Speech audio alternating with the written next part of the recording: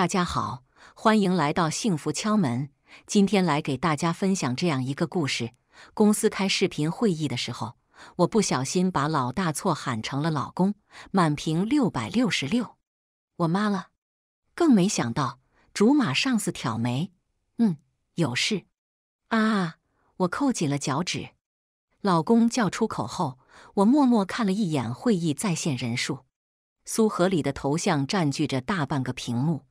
隔着手机，我都能猜到他那贱兮兮的表情了。呜，手机不断震动，同事们个个头上顶着“八卦”这两个字。我欲哭无泪，想解释时，偏偏苏和理还结束了会议。我忽然有点私事，会议明天再继续。完了，感觉更加解释不清了。手机嗡嗡嗡的震动，苏和理发来了视频。我照了下镜子，惊了一跳。这是哪来的猴屁股？江西西，刚才没听清，再叫一声，我听听。下次人少的时候叫，别把私事放大化。我的脸颊更加滚烫了。我从床上跳起来，开始无能狂怒。我那是口误。苏和里没说话，但嘴角上扬的弧度，怎么看怎么让人觉得不怀好意。我其实一直想不通。我跟苏和李之间的羁绊是怎么做到这么深的？好像只是因为他和我一起住在家属大院，我们俩时而像战友，时而又像天敌。两家聚会上，不是他哭就是我嚎。现在仔细想想，我们俩彻底结下梁子，好像是因为高中一个平平无奇的晚自习，单纯是因为我收了一个男生的零食，没有分给他吃。苏和李气得脸红。江西西，我要把你压在我的五指山下。谁能想到，当初的一句戏言，还真让他给做到了。苏和理非常无理，一身反骨。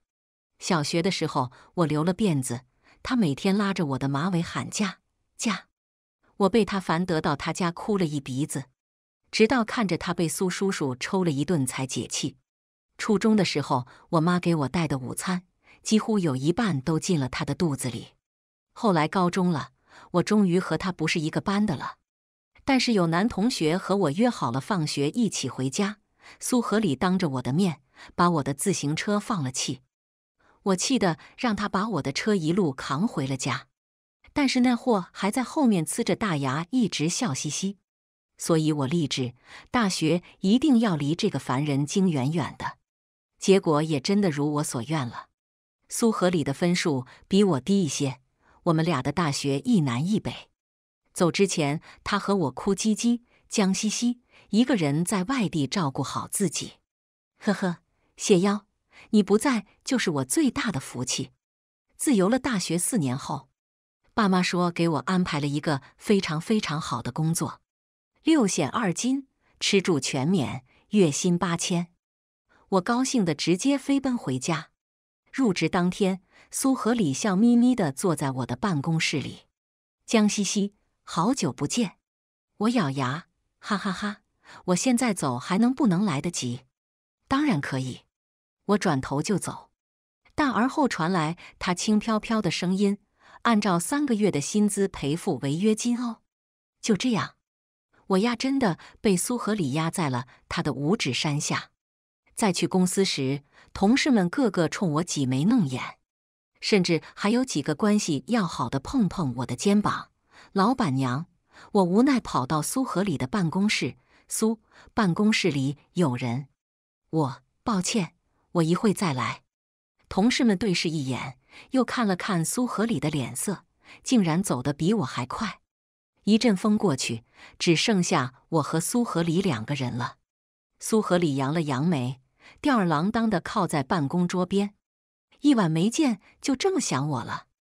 我咬牙给了他一拳。昨晚我真的口误，你快去解释，这对你的影响也不好，是不是？苏和里捂着胸口，夸张的倒吸着凉气。大家的眼睛都是雪亮的，他们只相信自己看到的东西。我虽然是老板，也不能硬生生把黑的说成。我又把手抬了起来。苏和里轻咳两声，整理了下西装。各部门注意，九点准时开会。我满意的点头。晚上我妈叫你去我家吃饭。对于苏和礼的配合，我倍感意外，大概是哪根筋忽然搭错了。不过我得趁着他满身的反骨还没觉醒之前，赶紧解释清楚这件事。不到九点，我已经礼貌性的拿着笔本去了会议室，但是大家居然比我来的还早。放眼整个会议室，只剩下苏和礼右手边的地方还有一个位置。在所有人意味深长的眼神中，我硬着头皮坐了下来。苏和礼来后面不改色的坐下，继续昨天的会议内容。他洋洋洒洒的说了十分钟，我如坐针毡，急得用脚在桌下踢了踢苏和礼的小腿。他忽然一顿，又看了我一眼，说一句题外话。我双手期待的放在胸前，满脸真诚的看向了所有的同事，解释啊，快点解释一下。今天我在公司听到了不少风言风语。苏和李用指尖扣了扣桌面，大家请把重心放在工作上，不要过于关心领导的私生活。当然，如果我这边有什么其他的情况，也会第一时间邀请大家的。我一愣。僵硬着脑袋回头看了苏和礼一眼，他说什么？同事们一阵面面相觑后笑了。那我们先恭喜老板了，越描越黑，说的就是这个吧？苏和礼的嘴角轻轻上扬着。今天的会议就到这里了。同事们散去后，我回过身给了苏和礼一个幽怨的眼神，但却一不留神挥到了苏和礼的水杯。热水直直的洒到了苏和礼的裤子上，哎呀，好疼！江西西，你好狠的心啊！苏和里的裤子冒着一缕一缕的蒸汽，这是开水。我忙蹲下来，一边拍打一边扇风。对不起，你别嚎了，我不是故意的，真的很。话没说完，会议室的门又被推开了。苏和里瞬间闭嘴，大手还压在了我的头顶上。同事愣在了门口，脸颊以肉眼可见的速度变红。那个，我什么都没看见。你们继续。这都什么跟什么？收回目光时，我看了眼玻璃。我半跪在苏和里的脚边，刚刚看过去时还嘴巴微张，再看看苏和里，大概是疼的，脸颊通红。很好，彻底解释不清了。我自闭了。现在公司里人人都传我是老板娘，说我们在会议室里做让人脸红的事，已经实锤了。可是我跟苏和礼是一起光着屁股长大的，这几年我们一起和双方父母斗智斗勇，一路过五关斩六将，才磕磕绊绊的长大。就像孙悟空和猪八戒取经成功后会成为夫妻吗？为了避嫌，下班后我先炖了。到家后，我妈先伸着脖子往我身后看。苏和礼呢？你们两个怎么没一起回来？我头都没抬。他公司有事，今晚来不了了。话音落，苏和礼就从门外探进头来。我公司什么时候有事了？不过他今天为什么穿着短裤就来了？老妈在我的额头上戳了两下，还没等我说话，苏和礼又去告状了。兰姨。我今天差点就来不了了。江西西公报私仇，你看他把我烫的。我看他卷起短裤的边边，直接把大腿处的一片红印露了出来。老妈惊呼一声，连锅铲都放下了。这用什么烫的？有没有水泡？上药了没？苏和离满脸委屈，没有。我让他等我一起下班，他说有事先走了。老妈抬手就冲着我挥了过来，在老妈看不见的地方，苏和礼冲我扮鬼脸吐舌头，还躲，赶紧去给苏和礼擦药。我瞄了一眼苏和礼的大腿，烫伤的地方在膝盖上面一点，但是男女授受不亲啊。我婉拒，但老妈却直接把药膏塞进了我手里。你别小看烫伤，最疼了。小时候，你被暖气烫出了水泡，还是苏和里巴巴的哄了你一下午呢？我晃了晃神，也是苏和里还是很惦记我，我就是在他时不时的呵护和摧残中长大的。苏和里把药膏拿走了，我还是自己来吧。还想告我的状？不可能。苏和里的腿确实红了一大片，愧疚涌上心头。我用棉签蘸上了药膏，帮他轻轻擦了擦。现在还疼不疼？我帮他吹了吹，就像小时候我被同学欺负摔破了脸，他捧着我的脸问我时一样。苏和里没说话，抬头看了看他，却发现这家伙的耳尖通红。我家很热。苏和里挠了下头发，眼神飘忽地侧过了脑袋。热，真的很热。我看了眼空调，明明开着十八度呢。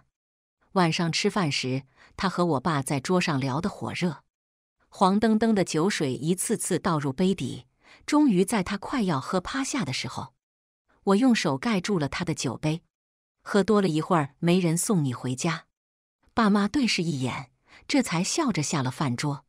当然，送他回家的任务非我莫属。苏河里的大半个身子都压在我的身上。我扶着他走得踉踉跄跄，但在把他塞上车的时候，苏和里拉着我的手腕，连同我一起带了上去。喂，苏和里，我压在他的身上，小心脏猛然加速。苏和里，松手，我送你回家。我微微挣扎着，苏和里的手掌却忽然落在了我的后背上。不要动来动去的，这该死的气泡音。夏天，我们都穿得轻薄。背后那双大手的温度，透过薄薄的短袖落在我的脊背上，热得我发烫。苏苏和里，我的脸颊忽而滚烫，一定是聒噪的蝉鸣惹的。喂，放开手，我要去开车了。苏和里不仅没松手，到底还迷迷糊糊的加大了力道。我说了要把你压在我的五指山下，都多大了还这么幼稚。但是心脏不知道为什么狠狠地跳了下，夜幕里像是亮起来了光。苏和李家里的密码我一直都知道，只不过最近为了避免人多嘴杂，我已经很久没来了。喂，你坚持住，不许吐啊！我把苏和李安顿在了床上，又把垃圾桶放在了床边，等着我去给你冲一杯蜂蜜水。我直奔冰箱。看到里面琳琅满目的水果蔬菜后，有些惊讶。苏和里什么时候开始自己做饭了？我在冰箱里翻找了一遍，也没发现那瓶蜂蜜。我买的那瓶。直到我放弃蜂蜜，拿起酸奶的时候，我在厨房的垃圾桶里看到了蜂蜜罐子。吃完了，可走近一看，还剩下大半瓶。我抿了抿唇。三分钟后，我在柜子里看到了一瓶未开封的蜂蜜，上面还贴着一个便签。那牌子的蜂蜜不好，我给你换了一瓶朋友从国外带回来的。我看了看蜂蜜，又看了看冰箱，这是有其他女人进了苏河里的家了。他这个矫情大王，居然会让其他人进他的家，还帮他置办东西，填满冰箱。苏河里谈恋爱了。我把自己买的那瓶蜂蜜带回了家。哎，这不是我跟苏和里从小喝到大的蜂蜜吗？那瓶蜂蜜已经在我的床头摆了三天了，我一直都没想明白，苏和里什么时候有女朋友了？上次因为他的解释，公司里人人都认为我是预备老板娘了。之前不知道还好，现在知道了，我是不是应该主动结束这场闹剧？我守在苏和里的家门口蹲点，没等到苏和里，但却等到了冯姨。西西，你怎么不进去？我有点心虚，但又忽然觉得走迂回路线也不是不可以。于是我挽着冯姨的胳膊：“阿姨，我在等苏和里一起去上班呢。不过最近苏和里有点怪怪的，他是不是谈恋爱了？”冯姨比我还要惊讶，差点直接冲进去质问他。幸亏我速度快，及时把他拦住。阿姨，这件事交给我，还是我帮您打听打听吧。冯姨看了看我，眼神中带了一丝我没看懂的复杂情绪。最后临走前还深深的叹了口气。我等了苏和礼一起上班，他还像小时候一样捏我的脸颊。江西西，谁惹你生气了？大清早怎么不高兴？我没不高兴，我只是懊恼刚刚自己的行为实在有点冲动。我拍开他的手，第一次钻到了后排的座椅上。苏和里轻轻啧了一声。我看向窗外，没说话，默默地盘算着一会要如何开口。苏和里，那天晚上我口误的事，你怎么不和大家好好解释？搞得大家都误会了。苏和里勾着唇角，从后视镜里看了我一眼。我解释了呀，我说如果有什么其他情况，会第一时间告诉大家。看着他的侧脸，脑袋里好像忽然闪过些什么。直到办公室里，我才抓住重点。是啊，苏和里只是说有什么情况会第一时间告诉大家，只字未提我。他说的应该是给他填满冰箱的那个女生吧。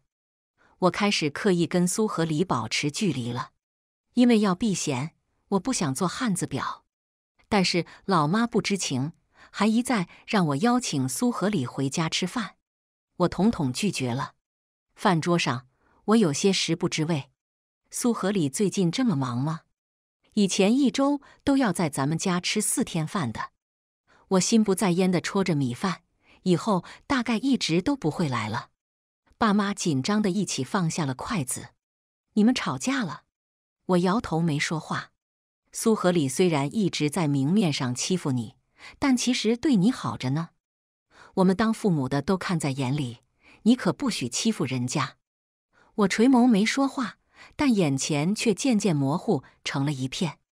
怕爸妈看出来端倪，我强行把饭菜塞进了嘴巴里。红烧肉明明很香的，可我一点味道都没尝出来，心底没由来的失落。我甚至分不清自己为什么感到沮丧，是因为苏和里有了女朋友却没有和我说。还是单纯的因为他有了女朋友。当初因为苏和里的故意安排，我和他的办公室只有一扇百叶窗的距离。正工作着，苏和里就忽然扒拉开百叶窗，露出两只眼睛来。江西西，我想吃阿姨做的糯米鸡了。我强忍着扭头看他的冲动，手下的键盘被敲得噼里啪啦响。不好意思，我妈不会做糯米鸡。苏和里在旁边气得跳脚，怎么可能？那是我从小吃到大的。我打字的动作一顿，还是扭过头瞪了苏和里一眼。他这不是渣男举动吗？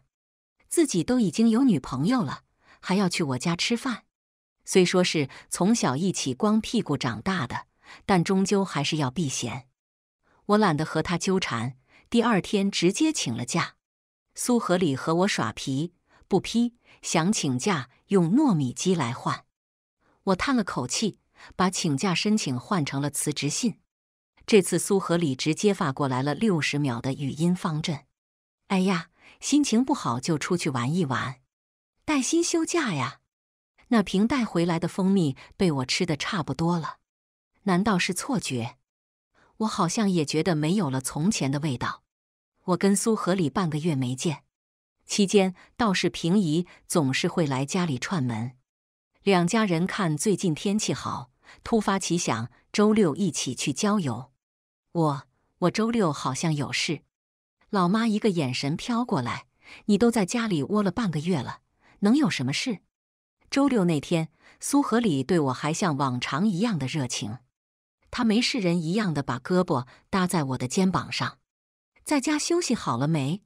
什么时候去上班呢？再不去，可有人顶替你的位置了。两家的父母都看着我们，笑得意味深长。但只有我知道，苏和里这是遭人唾弃的渣男行为。我一脚把他踹开，不去，我不干了。苏和里风中凌乱，我则率先跑到了前面。盛夏和着蝉鸣，我怕热，一直躲在树荫下面走。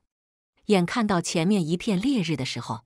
我在低头翻着书包里的伞，诺，给你。小黄鸭的雨伞卷得工工整整的。喝水。苏和里把瓶盖拧开了，递到我面前。我怔了怔，干嘛？苏和里甚至还掏出来了扇子帮我扇风。现在知道哥好了。来，你看看我包里都是什么。我这次才发现，他爬山背了个好大的包。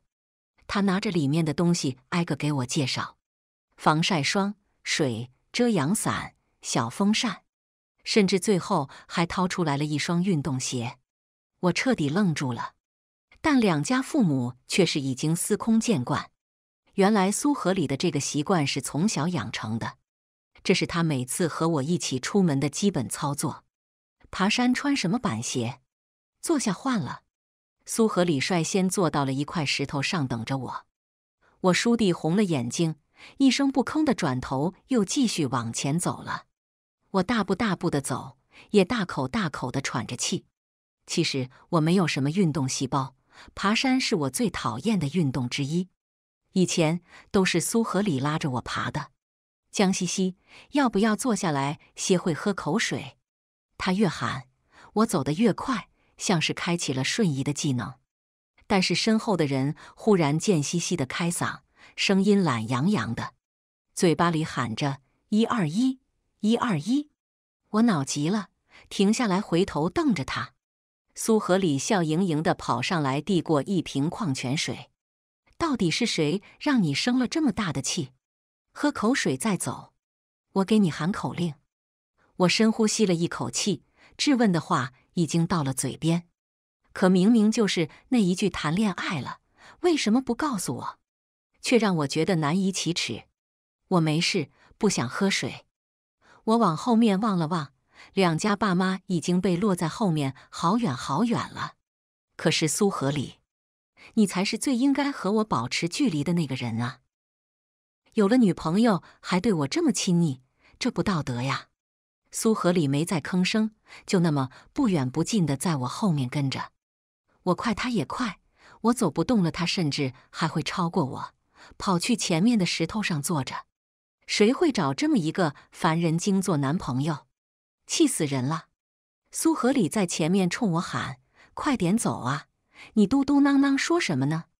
我咬牙，这已经不是生不生气的问题了，这关乎我的尊严。今天要是爬不到山顶，还不知道回去后要被他怎么嘲讽。我趁机超过了苏和里，但在路过一片草丛的时候，杂草中突然窜出来一条蛇，我吓得惊呼一声。不远处的苏和里马上就跑了过来，怎么了？别过来！我害怕地带了哭腔，有蛇，有蛇。那蛇不大也不小，身体黑黝黝的，亮的反光。我两条腿在裤子里面打晃。江西西，你别动，你千万别动啊！我不敢动，苏河里却半蹲着身子，慢慢绕到了蛇的后面。你干嘛？别乱来，万一有毒怎么办呢？我大概知道苏和里想干嘛了。他猛一凑近。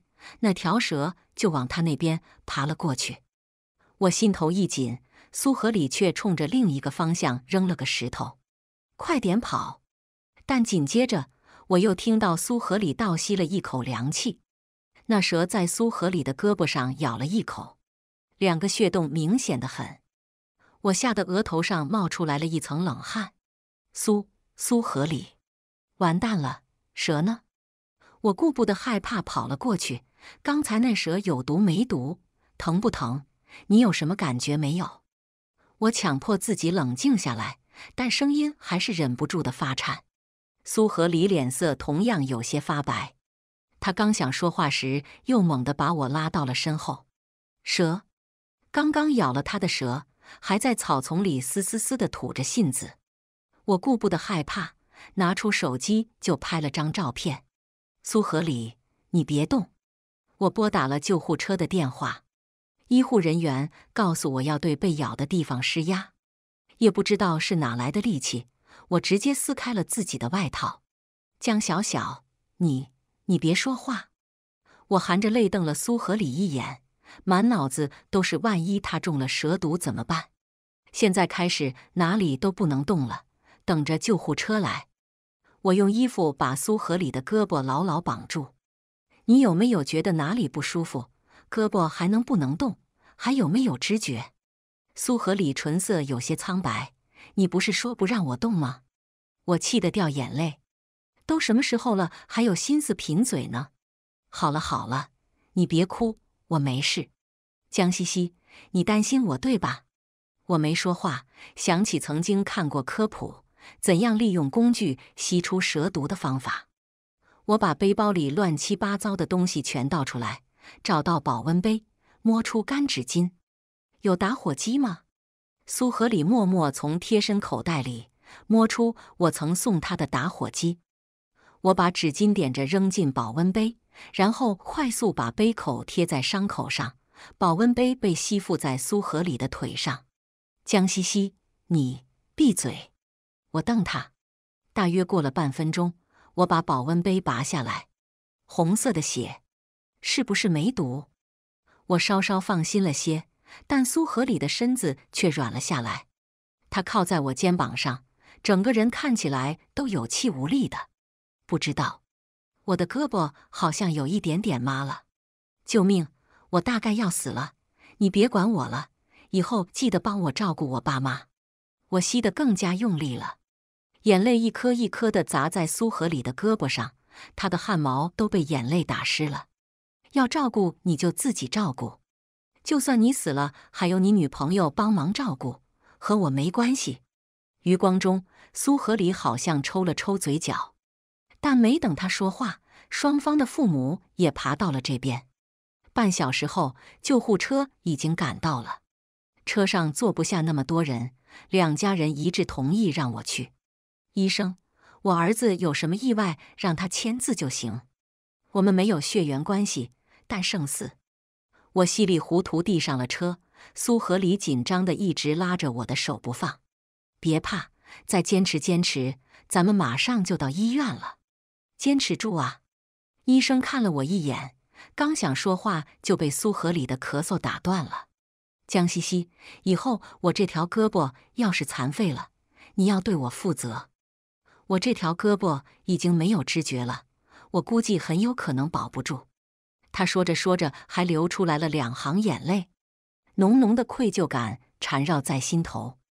我要是没有走那么快就好了，说不定就不会遇到那条蛇。你放心，我用袖子抹了一把眼泪。要是你因为蛇毒出什么事，我会对你负责的。毕竟苏和里是为了救我，否则现在躺在这里的人就应该是我了。苏和里还想说些什么的，但是医生看了他一眼，闭目养神，保持体力，好好休息吧。我连连点头，一句话都不再跟苏和里说了，只希望救护车能开快一点，再快一点。到了医院后，苏和里直接被推进了手术室。我早就把毒蛇的照片发给了医生，医生，求您了，赶快准备血清吧。医生看我一眼，直接被护士拉进去了手术室。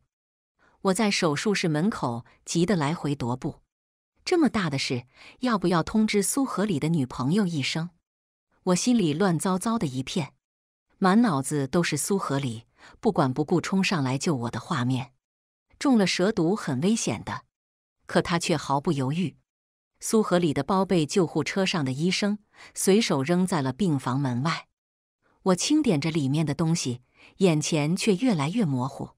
苏和里的包里全部都是为我准备的东西，甚至就连姨妈巾都放着一包。我看了眼日历，马上就到日子了。我蹲在包包旁边，哭的肩膀都在颤抖。苏和里真混蛋，明明已经有女朋友了，为什么还对我这个邻居妹妹做到这个份上？王八蛋，坏透了！我流着眼泪骂了一声，但身后居然传来了一声轻笑，还是那个贱嗖嗖的声音。我坏透了，那你还哭得这么伤心？哭声戛然而止，苏和里的胳膊上缠着绷带，就静静地站在我身后，还是那副样子，眉眼含笑，满脸臭屁。我胡乱抹了抹眼泪，错愕地起身。这这么快就好了吗？苏和里扯了扯唇角。我福大命大，怎么和我想象中的完全不一样？见我不说话，苏和里弯腰凑近了些。江西西，你怎么看起来有点失望的样子？人群中不知道从哪里路过了一位医生，他笑着看我们。刚刚你进去手术室，你女朋友在外面哭得肝肠寸断的。你女朋友简直太关心你了哦，真让人羡慕。苏和礼笑得春风得意，我刷得红了脸。不是我，苏和里握住了我连连摆动否认的手。回家，这蛇毒我放心不下，还是要拉着苏和里去问问医生。一路上他都十分抗拒。哎呀，已经给我看好了，没事了。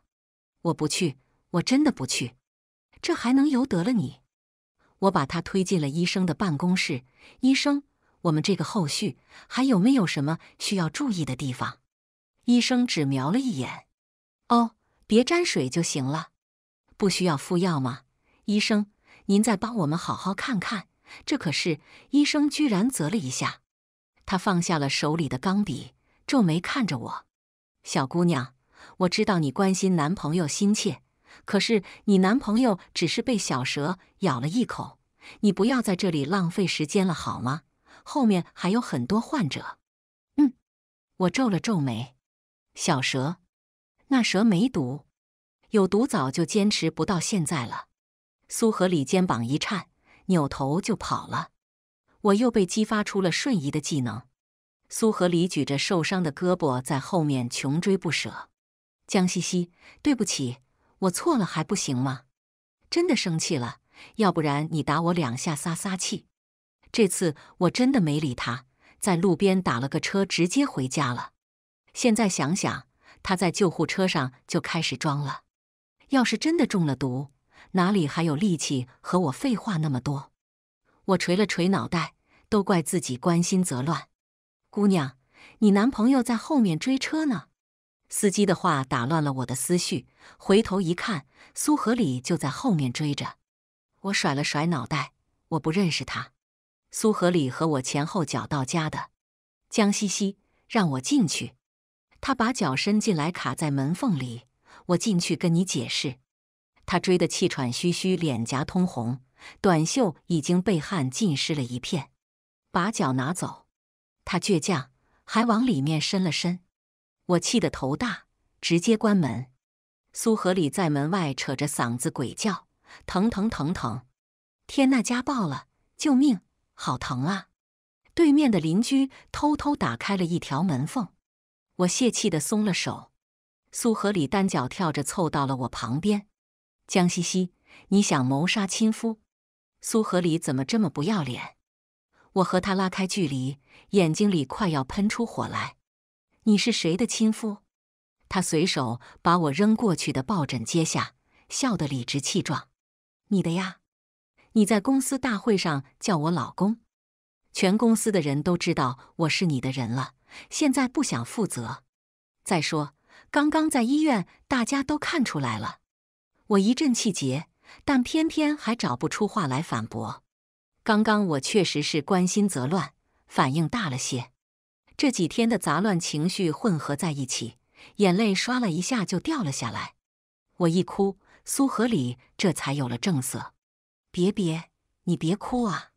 刚刚是我太过分了，但看你那么关心我，我就是想听你多说一些。对不起。我用抱枕抵住了他凑过来的身子。吸了吸鼻子，男女授受不亲，你离我远一点。还有，以后那种话别再说了。你已经有女朋友了，应该自觉和我保持距离。苏和礼皱皱眉，下一秒我又头朝地了。他像小时候一样按着我的脖颈，不让我起来。江西西，老子什么时候有女朋友了？挣脱不得，我抓狂的猛捶了一下。苏和里刚刚被门夹的那只脚，起身后我站了起来。你有没有女朋友，自己心里清楚。我故作轻松，咱们从小一起长大的情谊，你有了女朋友还这么藏着掖着干嘛？怕我告家长？苏和礼看着我怔了怔。我谈恋爱，你这么无所谓。下一秒，他满脸委屈的转过了身去。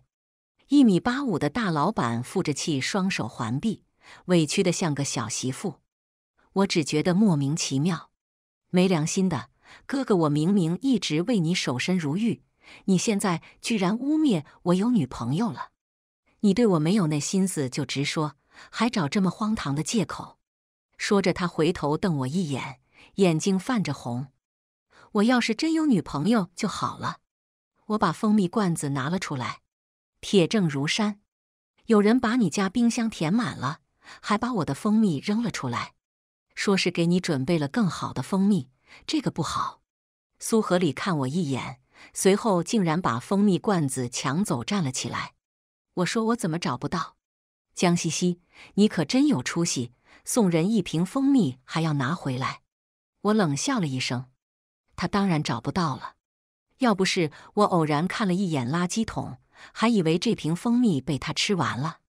见我不说话，苏合理又红着眼睛，试探性的把脑袋探了过来。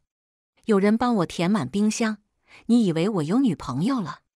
那你这几天一直不上班？他嘴角的笑意越来越大，吃醋了。就在我已经徘徊在恼羞成怒边缘的时候。苏合理的语气忽然软了下来。前段时间我家不是来了个远方亲戚，想进我公司上班的，其实是八竿子打不着的亲戚。我给他安排了工作后，他觉得不好意思，就去超市买了些东西，让我妈带着去了趟我家。我错愕的眨眨眼，有些懵。这件事我是知道的，苏和里芝麻大的小事都会告诉我。他把玩着蜂蜜罐子问我，不过我没想到他把这个扔了，惹得你吃醋。要不咱让他回老家？苏合理的眸子里带了些戏谑。我唰的一下红了脸，把那蜂蜜罐子夺了回来。你别乱说，谁吃醋了？苏合理的眉头皱了皱，忽然向我压下了身子。你，苏合理的指尖从我的发丝滑到耳畔。刚刚谁在医院哭成泪人的？谁叫我老公的？谁说对我负责的？我双手抵在苏合理的肩膀上，已经退无可退了。我我说了那是口误。面前的男人眸光忽然深邃了起来，他轻轻开口：“你这句口误的话，我等了好多年。”我的脑袋里嗡的一声，像是炸开了一朵烟花。苏合理的唇慢慢覆了下来。酥酥麻麻，我大脑一片空白，直到他挪开唇瓣让我呼吸时，我才反应过来。苏合理，我捂住了他的嘴巴。你刚刚亲我了，我妈知道了会不会揍你？她可是一直把你当儿子养的。苏合理在我的手背上亲了一口，随即又不由分说的将我的两只手扣在了头顶上。你猜猜今天家里为什么没人？嗯，我看了一眼墙上的表，距离我们去医院已经过去一个多小时了。他们早就应该到家了。苏和里的指尖从耳畔落到锁骨，最后停在了腰间。兰姨说了：“肥水不流外人田，好好的白菜不能便宜了外人家的猪。”过堂风穿过客厅，头顶的暖灯晃晃悠悠，缠缠绵绵。跟苏合理在一起。我有点不好意思见两家的家长了，于是第二天我光速跑回了公司上班。嗯，我的办公室换人了。我拉住了同事问：“咱们公司来新的同事了吗？”同事一脸高深莫测的摇了摇中指：“你的办公桌昨天被连夜搬进老板办公室了。”啊！苏合里的办公室里赫然放着两张桌子，而他。已经坐到了我原本的办公桌那里，有些小，他坐起来略显憋屈。嘻嘻，早上好，同事们还在外面看着呢。我从牙缝里挤出来几个字：“你干嘛呢？”苏合理看了同事们，起身把我拉到了那张大办公桌前坐下。软软的皮椅就是比我的板凳舒服。同事们的唏嘘声让我红了脸。你别在公司闹。苏合理笑得得意，转身看向同事们，轻咳两声：“老板家有喜事，所有员工带薪休假半个月，下个月过来参加婚礼，不需要随礼。”同事们一阵欢呼：“老板威武！祝老板和老板娘和和美美！”我从身侧看着苏合理，他嘴角的弧度看起来春风得意。半个月后，我终于娶到了江西西。她穿着婚纱的样子和我想象中的不太一样，简直要美太多了。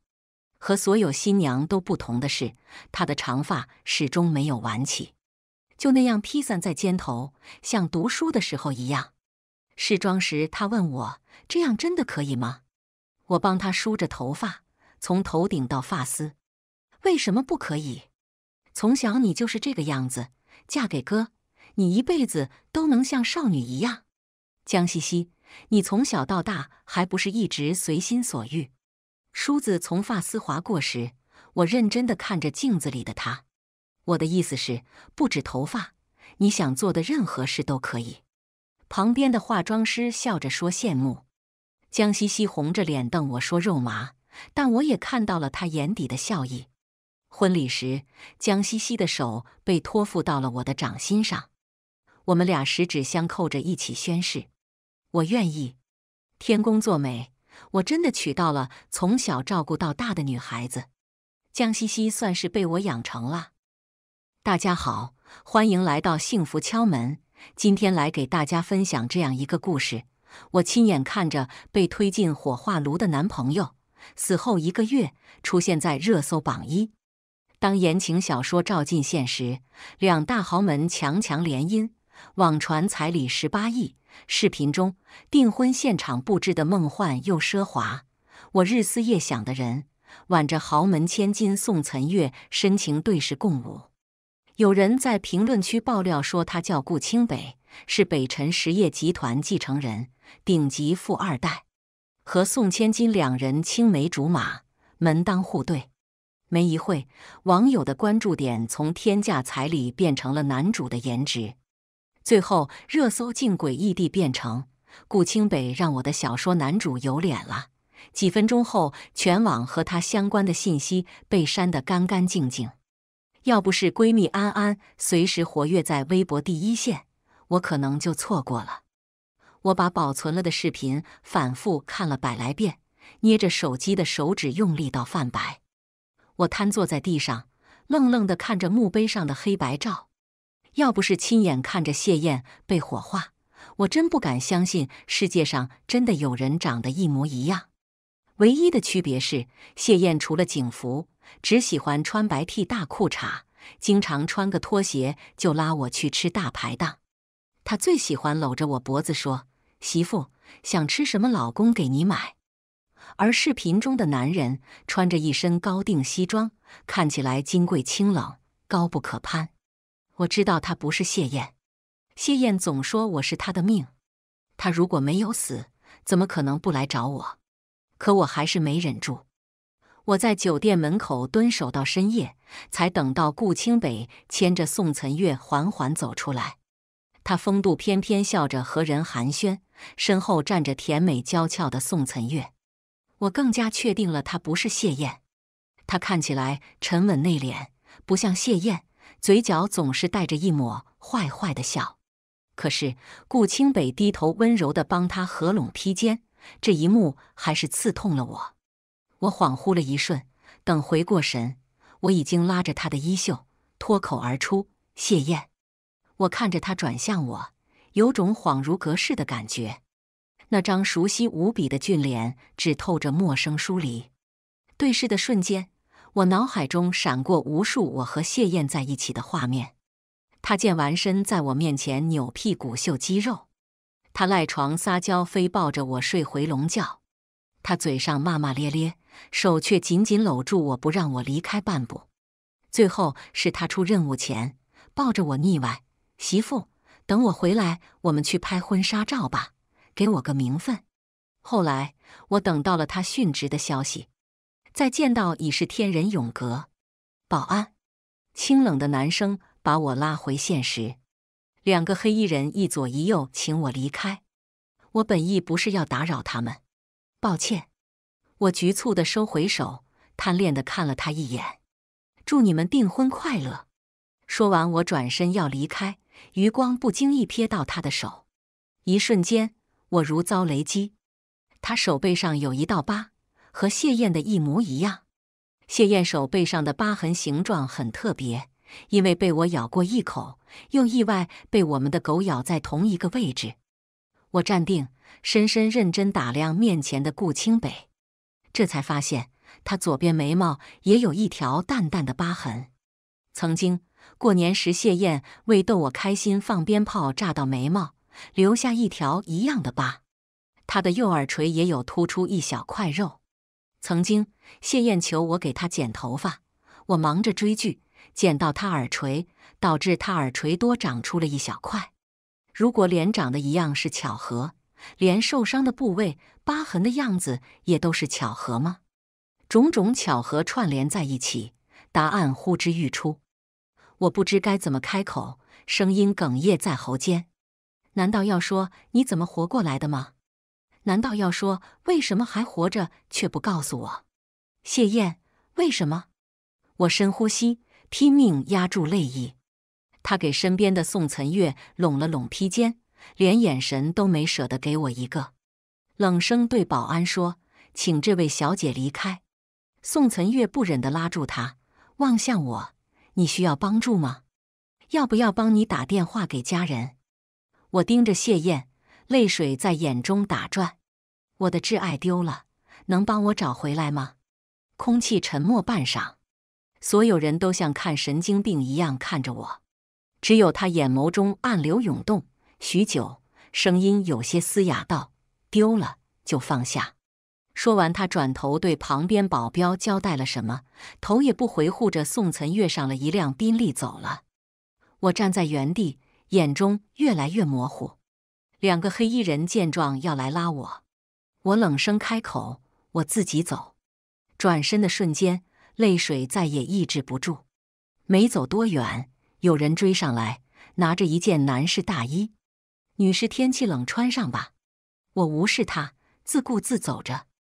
我原以为除了死亡，没什么能让我们分开，现在才知道，不够爱也可以。曾经我以为的深爱，都只是欺骗。又或者那时候是爱的吧，只是在巨大的财富面前不值一提。谢燕，既然你要把过去一切都丢弃。重新开始，那我成全你。从此以后，你走你的豪门大道，我们两不相欠。当晚，我做了个噩梦，有人交给我一袋东西，说里面有谢燕的遗嘱和写给我的信。遗嘱上，他把所有财产留给我，包括他养父留给他的一套房。我疯跑到医院，抱着黑色的遗体袋不肯撒手，可是总有人把我拉开。有人在我耳边劝说：“别拉开，给他留点体面。”我眼睁睁看着他被搬到殡仪馆的灵车上。等我追到殡仪馆，他已经穿戴整齐，躺在透明的棺材里。谢燕没有亲人，只有我。我要守着他，送他在这人世间最后一程。我在他的棺材边跪坐了三天三夜。他曾说：“既要守护这繁华盛世，也要守护我。”可是我的阿燕多可怜，甚至没人来悼念她。没多久，工作人员站我面前，低声说：“家属告别的时候到了。”我哭不出来，麻木地看着躺在棺材里的人，只觉得一切是那么荒诞。明明离家前才跟我求婚的人，怎么说没就没了？醒来后，枕头一片如湿。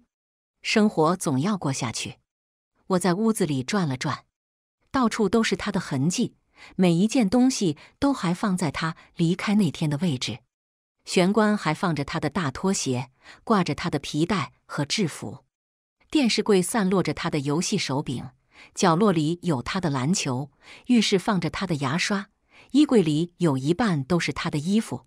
我总觉得他只是出了一趟远门。这套房是秦叔留给他的，他又留给了我。每一样物品都是我们一起一点点添置的。还记得当初他为了叫我搬进来同居，软磨硬泡，求了我整整一年，提前一个月就开始催我收拾行李。后来看不过去我拖延，自己每天跑到我家帮我打包。搬进来那天，他更是全程没让我插手。明明自己累得半死，晚上还是把我抱到床上翻来覆去。说是庆祝，我顺着入户门，光着脚把家里又走了一遍，眼前不断回放着和他的过去。他吃醋同事追求我，我们一路吵架到家。一进门，他就把我压在玄关柜上亲。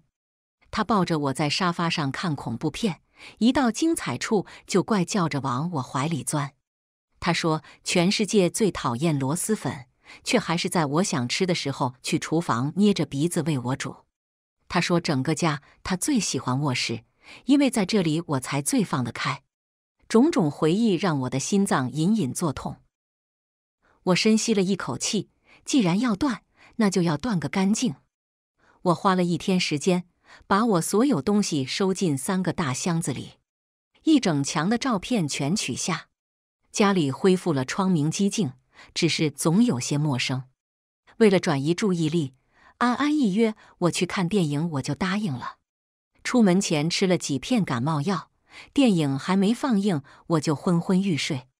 安安好死不死选了声音最炸裂的枪战片。待了没几分钟，我脑袋就疼得像被人拿榔头敲打。我跟安安说了一声抱歉，打算去外面等他。我迷迷糊糊走进了旁边没有放映的厅，一接触到沙发就昏睡过去。厅里很安静，也很黑。我又梦到谢燕，她额头抵着我的额头，嘻嘻，对不起。不知道为什么，我竟从她颤抖的声线里听到了心碎。可是，不是他选择放弃我的吗？他把我抱得死紧，脸埋在我肩窝，深深的吸了一口气。我快撑不住了，耳边是他低沉又痛苦的声音。没多久，我就感觉到颈边一片冰凉。我努力想睁开眼看他，可是就像梦魇一样，怎么都睁不开。我感受着他灼热的呼吸，温热的薄唇辗转留恋，眼泪滑落眼角。我挣扎着，喃喃低语：“是你不要我的。”再次醒来，安安正一脸担忧的用手探我额头：“西西，你不会是发烧了吧？脸怎么烫烫的？”我撑着身子坐起来：“你进来的时候有看到别人吗？”一开口，声音格外沙哑：“没有，原来只是梦。”他手舞足蹈的聊起电影，一路把我拉去厕所。等我内急，等在隔间前，他看了我一眼，哎，西西，你口红花到脸上了，快擦擦。我下意识看向镜子，镜中的我头发散乱，嘴唇微肿，口红晕开到了脸上。看完电影，我以不舒服为由回了家，独自点了个外卖，坐在沙发上发呆。敲门声响起时，我想也没想就打开门。下一秒，眼前一黑，失去了意识。再次醒来，我被绑在椅子上，穿着骑手服的男人戴着面具，随意屈着长腿坐在地板上，面前散落了一地我和谢燕的照片。我冷冷地看着他，没有挣扎。哟，醒了。他走到我面前，弯下腰凑近，仔细打量着我。既然醒了，好戏登场。面具上的变音器发出怪异的笑声，他拿出手机发送视频邀请：“顾大少，又或者该叫你谢燕。”屏幕中的谢燕面无表情，眼神透着淡漠。秦夕在我手上，我不认识什么秦夕。男人的嗓音清冽，不带感情。别急着否认。面具男从地上捡起一把菜刀，猛地一把抓起我头发向后扯。我被迫仰起头，绷紧了脖子。他随意的把菜刀架到了我脖子上。这样，你能认出他吗？他兴奋的笑起来，冰凉刺痛。我知道他是来真的。谢燕原本冰冷的眼神放松下来，懒洋洋的开口：“我不知道你为什么找上我，但我不认识这位女士，我只会替她报警，其他的免谈。现在是法治社会。”你以为你伤害人后还可以逃脱吗？顾大少真是好市民。面具男边笑边鼓掌。话音一转，阴森道：“又或者你在演戏？”他把刀又刺进我皮肤一些，颈动脉，我轻轻一碰，可能就喷泉喽。血珠瞬间顺着刀锋冒出来。谢燕面上越来越不耐烦。你要什么？我虽然不认识他。但也不会让你伤害无辜的人。我给你一分钟，把你拿到的账号密码告诉我。这笔钱警方盯着，你也动不了，不如给我。谢燕皱着眉，我不知道你在说什么。面具男若有所思地放下刀，看来这个人在你心中地位不够了。那如果是宋千金呢？我手上有可以让宋岑月身败名裂的视频，如果你不想流出去，他话还没说完就被打断。谢燕在听到宋岑月名字的那一刻，眉眼间戾气暴涨，感动他丝毫。我弄死你！我只感觉有什么东西在他动容的瞬间一去不复返了。面具男轻蔑的笑了笑，随手关了视频，转头看向我：“你赢了。”我面无表情，解开了手上的绳子。你看，你的命还不如他未婚妻的名誉值钱。而且，你的大英雄居然私藏赃款，不知道他那些热心的警察同事知道了会怎么样？我赢了，你可以走了。我浑身紧绷，脸上却没有流露出一丝胆怯。面具男慢条斯理地东摸摸西看看。我一点点挪动到卧室门边，随时准备向外冲。他拿起我床上放着的很旧的小熊，对着他深吸了一口气：“来都来了，这个就送我做纪念品吧。”说完，他大步走向卧室门。正当我要放松下来，他突然停下：“偏头，不要随便给陌生人开门，小妞。”然后迈着大步离去。几秒后，响起了大门打开又关上的声音。我这才放松下来，浑身发软，瘫坐在地上。回想起刚刚被绑架出行，看到一地的照片，我就知道他可能是要用我来威胁谢燕要钱。可是我怎么能把性命交给一个已经不爱我的谢燕？我不再相信他。我告诉面具男，我们可以打赌，如果他不受你威胁，你就放了我。现在到处都有摄像头。你也没必要为我这种没价值的人惹上麻烦。后来也证明我的决定没有做错，幸好我赌赢了。可是我好像也输了。平复了心情，我打电话给附近的派出所报警，快速把所有东西都收拾打包好。这里是不能住下去了。我正要把箱子推出房间，客厅传来入户门密码锁开启的提示音。慌乱下，我随手拿起谢燕放在门后的棒球棍，脚步声越来越近，一个人跌跌撞撞冲进来。我沉住气，准备大力朝他的咽喉打过去，一只大手挡住了棒球棍。你没事吧？顾清北喘着粗气，把我上上下下仔细检查了一圈。我放下棍子，冷冷道：“顾大少，请自重。”他握着我的手僵住。随后缓缓放下，他瘦了些，整个人更显得挺拔清俊，额头冒着细密的汗珠，眼眸中充满了复杂的情绪。我顿时沉默了，他刚开口就被我打断。来的正好，我请他在沙发上坐下，然后抬出一个大箱子。我刚好苦恼要怎么处理我前男友谢燕的东西，不知道顾大少都怎么对待前任。他愣住。我浅笑，不如毁了吧。我拿出曾挂在照片墙的照片，这是他和我去世界各地留下的纪念。我用剪刀一张张剪成两半，确实，人还是要向前看。这是谢燕用第一份薪水买给我的项链，我随手扯断。这是所有我们看过的电影的票根，我一把扔进黑色的垃圾袋。这是谢燕给我写的情书。我看着他的眼睛，一点点把一沓纸撕成碎片。他脸色渐渐变得难看。我面无表情，取下戒指，这是我们的情侣戒指。他说回来要买个大钻戒跟我求婚，不过他食言了，扔进垃圾袋。够了。他紧抿双唇，抵住沙发的手臂青筋暴起。也是，顾大少应该不想看我这些鸡毛蒜皮的小事。我把所有东西一股脑丢进黑色垃圾袋，拍拍手。还有最后一样，我拿起桌上的房产证，这个我留在这了。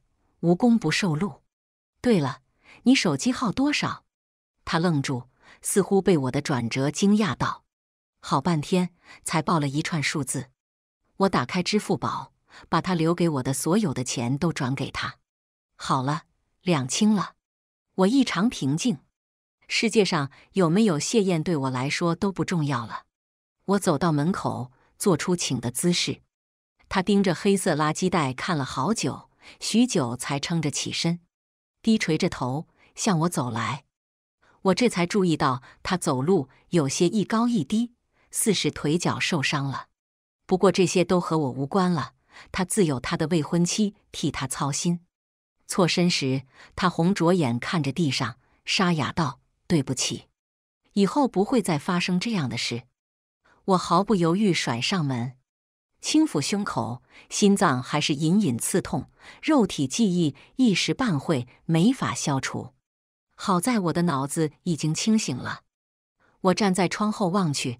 楼下一堆黑衣人，宋岑月一见到他就拥上去。我平静地拉上了窗帘。警察和我一起去物业调取了监控录像。面具男完美的避开了所有监控，没有留下一丝痕迹。这件事只能不了了之。我只好暂时搬到闺蜜安安婚前买的小公寓住。一切痛苦会忘掉的，或早或晚而已。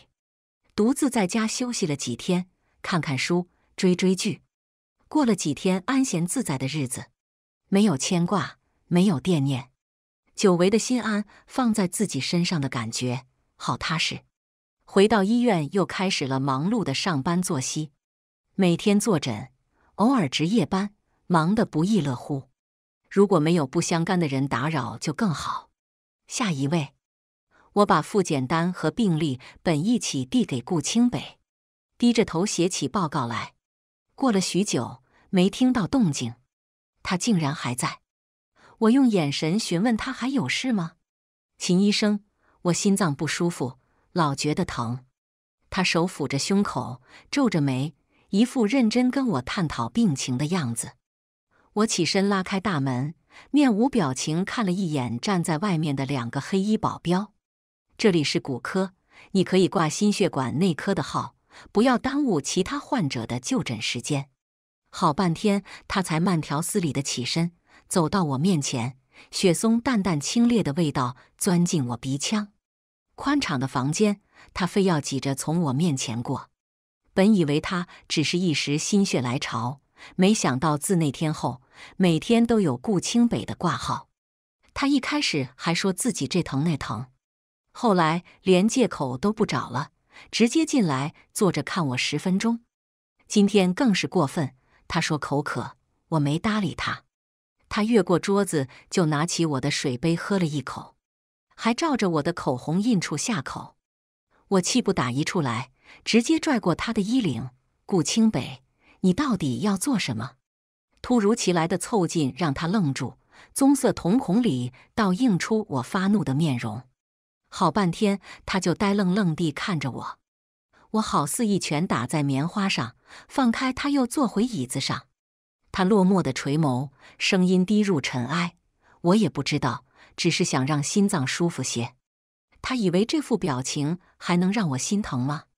我冷声道：“你让我放下，我放下了。希望你也不要出尔反尔。”接连几天，他不再出现。我原以为我们不会再出现在彼此生命中，他的好未婚妻找上门来，他笑得温柔可人，说出来的话却刺耳。秦小姐，我是为了我未婚夫来的，我们年底就会完婚，希望你不要再打扰他。我挂上职业微笑，宋小姐，这里是医院，病人来看病不是我能控制或者阻止的。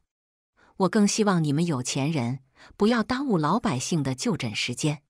岑月，你我和宋岑月向门口看去。顾清北抿着唇，面色发白，微扶着门框。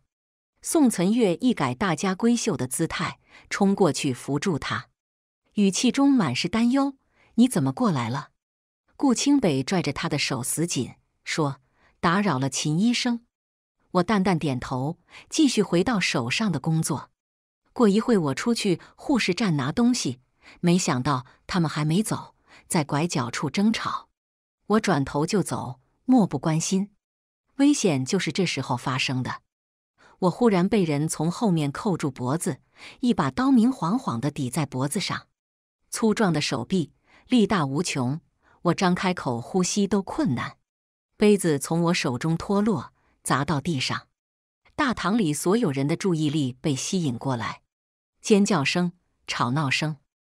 我脑袋一阵晕眩，恍惚中看到挣扎着冲过来又被保镖困住的顾清北，他目眦欲裂的模样，好像那个嚣张自意、曾经把偷窥我裙下的变态按在地上摩擦的谢燕。大脑空白了不知多久，等我捂着脖子坐在地上咳嗽的时候，顾清北一行人已经不在了。一个高大的男人逆着光对我伸出手，救我的人叫宁浩，一个长相清秀、身手却勇猛的小哥哥。我俩坐在走廊的椅子上聊着刚发生的事。刚挟持我的中年男人已经被警察带走，据说是他的妻子患了癌症，不想拖累家庭，选择了结束生命。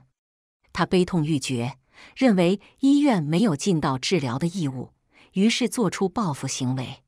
虽然见惯了生死，医生比常人难免多一些淡漠，但是遇到伤医还是有些心寒。我揉了揉脖子，苦笑道：“最近真的水逆，我要去寺庙拜拜了。”宁浩低声笑起来：“医生还信神佛？科学的尽头是玄学。”说完，我也笑起来。我还算是行动派。说去寺庙拜拜，周末大清早我就出发了。不管什么佛我都拜，拜完一圈刚好去吃斋饭。巧的是，我刚取好饭菜，又遇到宁浩。他坐到我对面，温和的笑了笑。真是巧了，上次在医院你说要拜佛，我就想着最近比较倒霉，也来拜拜。怎么倒霉了？就工作上的事。我俩像是老友一般，边吃边聊。吃到一半，宋岑月挽着顾清北在我们旁边坐下。秦小姐，真巧，我来给清北求平安符。我敷衍的笑了笑，真是阴魂不散。宁浩把碗朝我这边推了推，我看你爱吃西兰花，我这里还有一碗没动过的，不嫌弃的话你先吃。我有些不好意思，谢谢，我也差不多吃饱了。啪。顾清北把筷子往桌子上重重一摔，起身掉头就走。宋岑月尴尬的笑了笑，追上去。朋友，宁浩下巴指了指他们离去的方向，不是认识而已。吃饭的心情也没了。饭后，宁浩邀我一起去逛逛。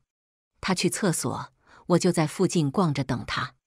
走着走着，我被悠远空灵的念唱声吸引。不知道怎么走进了一个小院子，院子里很多和尚围走着念经，中间供奉着一盏灯。我费劲辨识了下灯上的名字，好像是繁体字的顾清。突然一股大力把我拉到院外的角落里，顾清北捂着我的嘴，高大的身躯把我笼罩在阴影里。他面色阴沉，就这样定定地看着我。过了一会，他放开手。用双臂把我圈在角落。他是你什么人？我冷着脸，关你什么事？他猛地一拳砸到墙上，低声一字一顿重复：“他是你什么人？”我挣扎着推了推他，没推开。顾清北，你凭什么质问我？你有未婚妻，还这样是要让人说我是小三吗？还是我没有继续痛苦，继续纠缠，让顾大少你有心理落差了？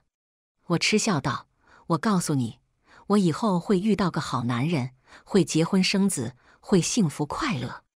这个世界没有谁离开谁就活不下去。”他双眼泛红，胸膛起伏越来越大。下一秒，我唇上一痛，呼吸彻底被堵住。我拼命挣扎，他死死地压住我的后颈，扣住我的腰。他闭着眼，凶狠地靠近，像是要把我揉进他身体。唇齿之间尽是血腥和苦涩。渐渐的，我不再挣扎，睁着眼，眼泪从眼角滑落。他似是察觉到我的异样，慢慢放开我，额头抵触着我，大口大口喘息。我平静地看着他猩红的双眼，人不要那么自私。他瞳孔急速的收缩，眼底尽是受伤。他松开我，低笑出声，透着一股绝望，一步步退后，转身头也不回，大步离开。那之后，我再也没见到顾氏夫妇，反而是宁浩经常约我，有时约打球，有时约饭。我惊奇的发现，他爱吃的东西竟然和我爱吃的完全吻合，而且他不会过分殷勤，总是适时的提出送我回家。唯一困扰我的大概是，他总是送包好的汤到医院给我，惹得旁边的小护士八卦眼红。秦医生。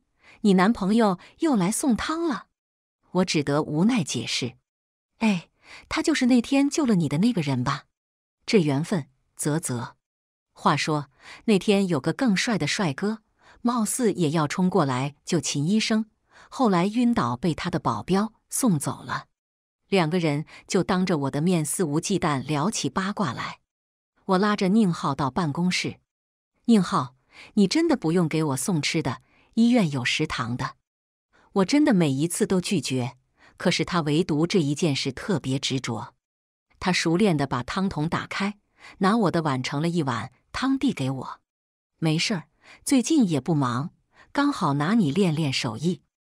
我闻着这香味，嘴上说着不要，可是身体很诚实，拿起了碗筷。宁浩笑得一脸温柔。突然想起有一次安安来找我。恰巧碰到宁浩也在，当晚他就兴奋地跟我八卦了一晚上，最后他欲言又止地问我是不是走出来了。我告诉他，我不会为了一个负我的人放弃全世界，我还是会继续努力生活，继续努力爱，但我也不会那么快再接受一个人。手机铃声打断了我的思绪，听完后我没有说话，直接挂断。手机还在一直响。似乎我不接不罢休，大概响了十几次，终于停歇。有什么事吗？我低头喝着汤，摇摇头，笑着说没事。大门突然被弹开，宋岑月一脸焦急地看着我不说话。我叹了口气，放下碗筷。宁浩，抱歉，我先去处理点事。他好脾气地笑了笑，看了一眼宋岑月。宋岑月板着脸不说话，踩着高跟鞋走得飞快，一路飙车把我带到了一栋别墅。从寺庙回来以后，他就一直超负荷做复健。后来医生不让他做，他就把自己关在屋子里，不吃不喝。你劝劝他吧。他一脸疲惫，语气中充满了无奈。屋子里又黑又安静，长时间不开窗，有些憋闷。我找了半天，才看到顾清北坐在床角，脑袋埋在手臂里。我在他身边坐下，他似乎感受到动静，缓缓抬起头，眼神朦胧而迷茫。西西，你来接我回家吗？一开口，沙哑的嗓音混了几分委屈。我把他拉起来，他似乎下半身坐麻了，一起来就跌倒在我身上。我慢慢把他扶到床上。他目不转睛盯着我，我拿起床头柜上的碗喂一口，他张嘴吃一口，乖乖任我摆布。你不要走，他一把拉住我，眼睛湿漉漉的透着亲近。我只是想给他倒杯水，想了想，我又坐下。他撑起半个身子，依赖的把头靠在我腿上，修长的手指一根根和我交缠，直至十指紧扣。没一会，呼吸声就平稳了。我低头看着他的侧脸，还是那么清俊俊美。他真的长了一张蛊惑人心的脸。还记得当初就是上了他这张脸的当。第一次见到他是高一的一次国旗下讲话，他把检讨书念得阴阳怪气，最后还嚣张的放狠话：“张金浩，你下次还敢这样，我照样打你。”气得校长师太拔了他话筒。对了，张金浩就是校长的儿子，他经常把手机放在鞋尖上偷拍女同学的裙底。他话音刚落，全场爆笑鼓掌。我们班女生更是被迷得尖叫。他们是这样形容他的：一个正义感爆棚又超帅的混混。从那以后，我似乎走到哪都能听到他的大名。他总是众星捧月，到哪都特别多兄弟。有一次，我看到他搭着一个男生肩膀，男生低着头，看起来有些怕他。我以为谢燕在欺负他，没想到下一秒，他笑得很开心地对男生说：“哥们，我也是孤儿，这没啥可耻的。你问问全校，谁不知道我是孤儿？”他那自豪的模样让我失笑。他似乎完全不惧怕世俗眼中的弱点。后来我才知道，那个男生因为孤儿的身份被同学霸凌。谢燕看到后，不仅制止那些人，还帮他重塑信心。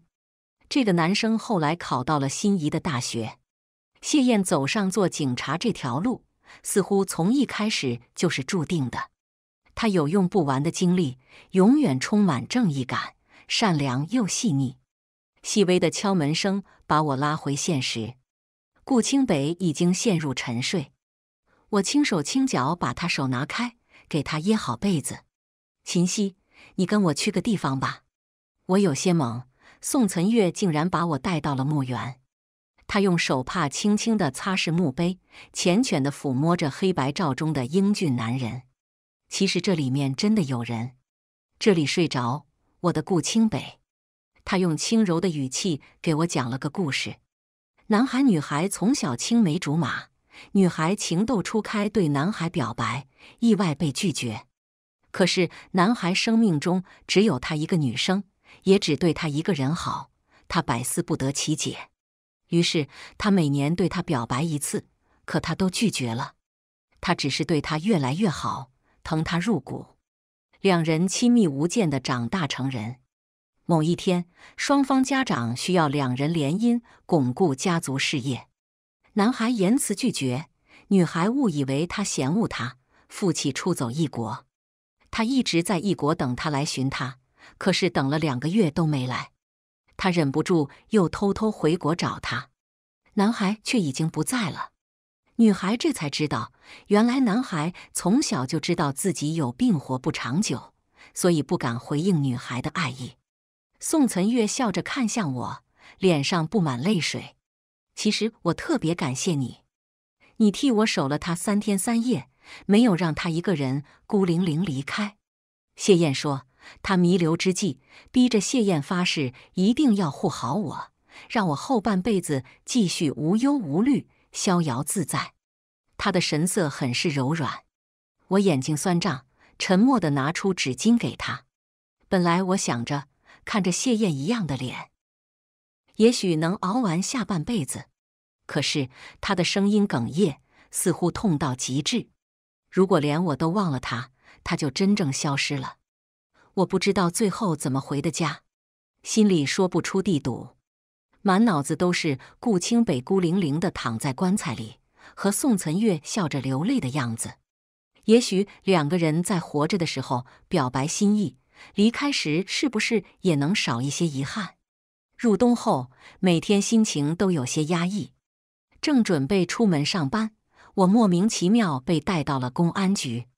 女士，可以说说你了解的谢广汉吗？谢燕的养父，我不明所以。他是个很正直的警察，几年前执行公务的时候牺牲了。生活中我相处不多，只记得他是个很和蔼的叔叔。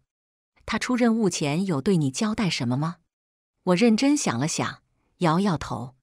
几年前的事情真记不起来了。没问几句，又把我放回去上班了。我拿出手机，点开谢燕的号码，想了想，又退出去。晚上回到家，我还在纠结要不要给他打电话。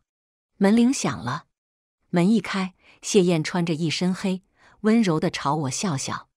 我站着煮面。他站在我旁边，没有一个人说话。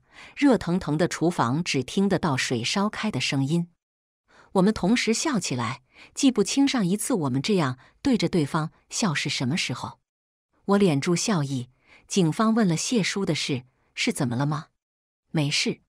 他笑意淡下来，犹豫半天，我还是问出口：“你的脚好点了吗？没事了。是怎么弄的？不小心受伤。我把筷子趴地放到砧板上，转身就要回客厅。问什么都不痛不痒的回复，不如不要聊好了。谢燕伸手一拽，从身后抱住了我。我瞬间被他身上好闻的气息包裹，心头的烦躁被一点点抚去。他把脑袋埋在我脖颈处，呼出来的热气有些微痒。嘻嘻，嘻嘻，我静静地听着他唤我。嘻嘻，我能再吃一次你煮的面吗？他在我耳边撒娇。我们并排坐着，慢慢的吃完了一碗面。他吃完后也不走，撑着下巴，饶有兴致的看着我。等我吃完，他主动收拾洗碗。很晚了，那我先走了。你关好门窗，不要随便给陌生人开门。嘻嘻，我走了。他手指轻抚在我脸颊侧几缕长长发丝上。眼中爱意缱绻浓烈，我脸有些发烫，忍不住推了他一把，赶他走。门都要合上，他又用手挡住，推开门，伸手把我拽过去抱住。等我回过神，他已经坐电梯下去了。我压了压上扬的嘴角，可是想到他现在的家世，笑意又一点点淡下去。我们早已不是一个世界的人了。谢燕没再来找过我。我也不知道自己在期待什么。宁浩刚好搬到我对面，他说周末请几个朋友一起乔迁热闹一下。我买了几瓶酒送他，屋子被他布置的温馨又可爱。我失笑：“你这怎么像准备给女生住的？”他围着围裙，拿着锅铲，笑得一脸得意：“不好看吗？”他家每一样摆件都深得我心。我忍不住朝厨房吼着，问他在哪里买的。宁浩炒着菜，转过头笑着说：“你喜欢就拿走，我到时候再买一个就是了。对了，你朋友呢？哦，他们放我鸽子了。”我不以为意，到处逛了逛。宁浩，这个房间是你的吗？我可以看看吗？他那边抽油烟机声音有些大，一时没搭理我。我走到床边。摸了摸床品，最近正好要买四件套。枕头边一撮灰色的毛吸引住我，我看了看厨房，他还在炒菜，把被子轻轻掀开一角，那只我抱了许多年、被面具男拿走的小熊正静静地躺在他的枕头上。被你发现了，我猛地转过身，宁浩背着光，面上一片阴森，真可惜。饭菜做好了呢，我不知道被宁浩绑到了什么地方，可能是一个小旅馆，卫生条件很差。我的手机在床头柜上一直震动，我艰难的挪动被捆在一起的手脚。你应该饿了吧？宁浩开门进来，手里拿着面包牛奶。为什么？我冷眼看着他，他不疾不徐走过来，拿起我手机，说：“你现在有事。”另一只手拿起床头柜上的枪，抵着我额头。电话一接通，传来宋岑月焦急的声音：“秦曦，警察把谢燕带走了，说什么他拿了什么赃款？你知道这件事吗？”我艰难的开口：“我不知道，我现在有事，先挂了。”他随手拉了张椅子，坐在床边，周身气质一变，不再温和。“这事是你做的吧？”他讥笑道。是我做的，我们只是让线人放了点虚假的证据，他们就围着谢燕转。你的目的？他没回答，起身靠近，帮我松了松绳子。你先忍一忍，等这件事过去之后，我就带你去别的国家生活。他一靠近就让我难受，我忍不住向后躲了躲。好，我不碰你。谢广汉陆续转走了我们很多钱。你好好想想，谢燕会放在哪里？我呸！谢燕不可能会拿什么赃款。他阴沉着脸不再说话。他偶尔出去打电话，偶尔出去抽烟。夜幕降临，屋子里没有开灯，慢慢变黑。我低垂着眼眸，浑身紧绷戒备着。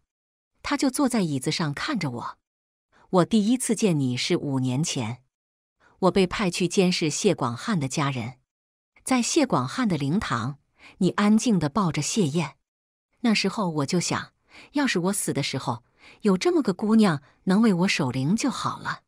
后来你守了谢燕三天三夜，我在旁边看了你三天三夜。其实你高中的时候，我偶尔会去你学校看你，你不知道吧？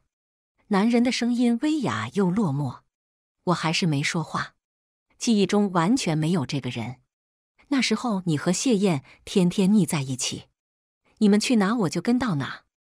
我常常幻想亲吻你的是我，而不是谢燕。黑暗里的时间流逝得很慢，我不敢轻易搭话，生怕挑动他哪根神经。我已经联系上谢燕，她答应拿账号密码来换，我们很快就可以一起出国了。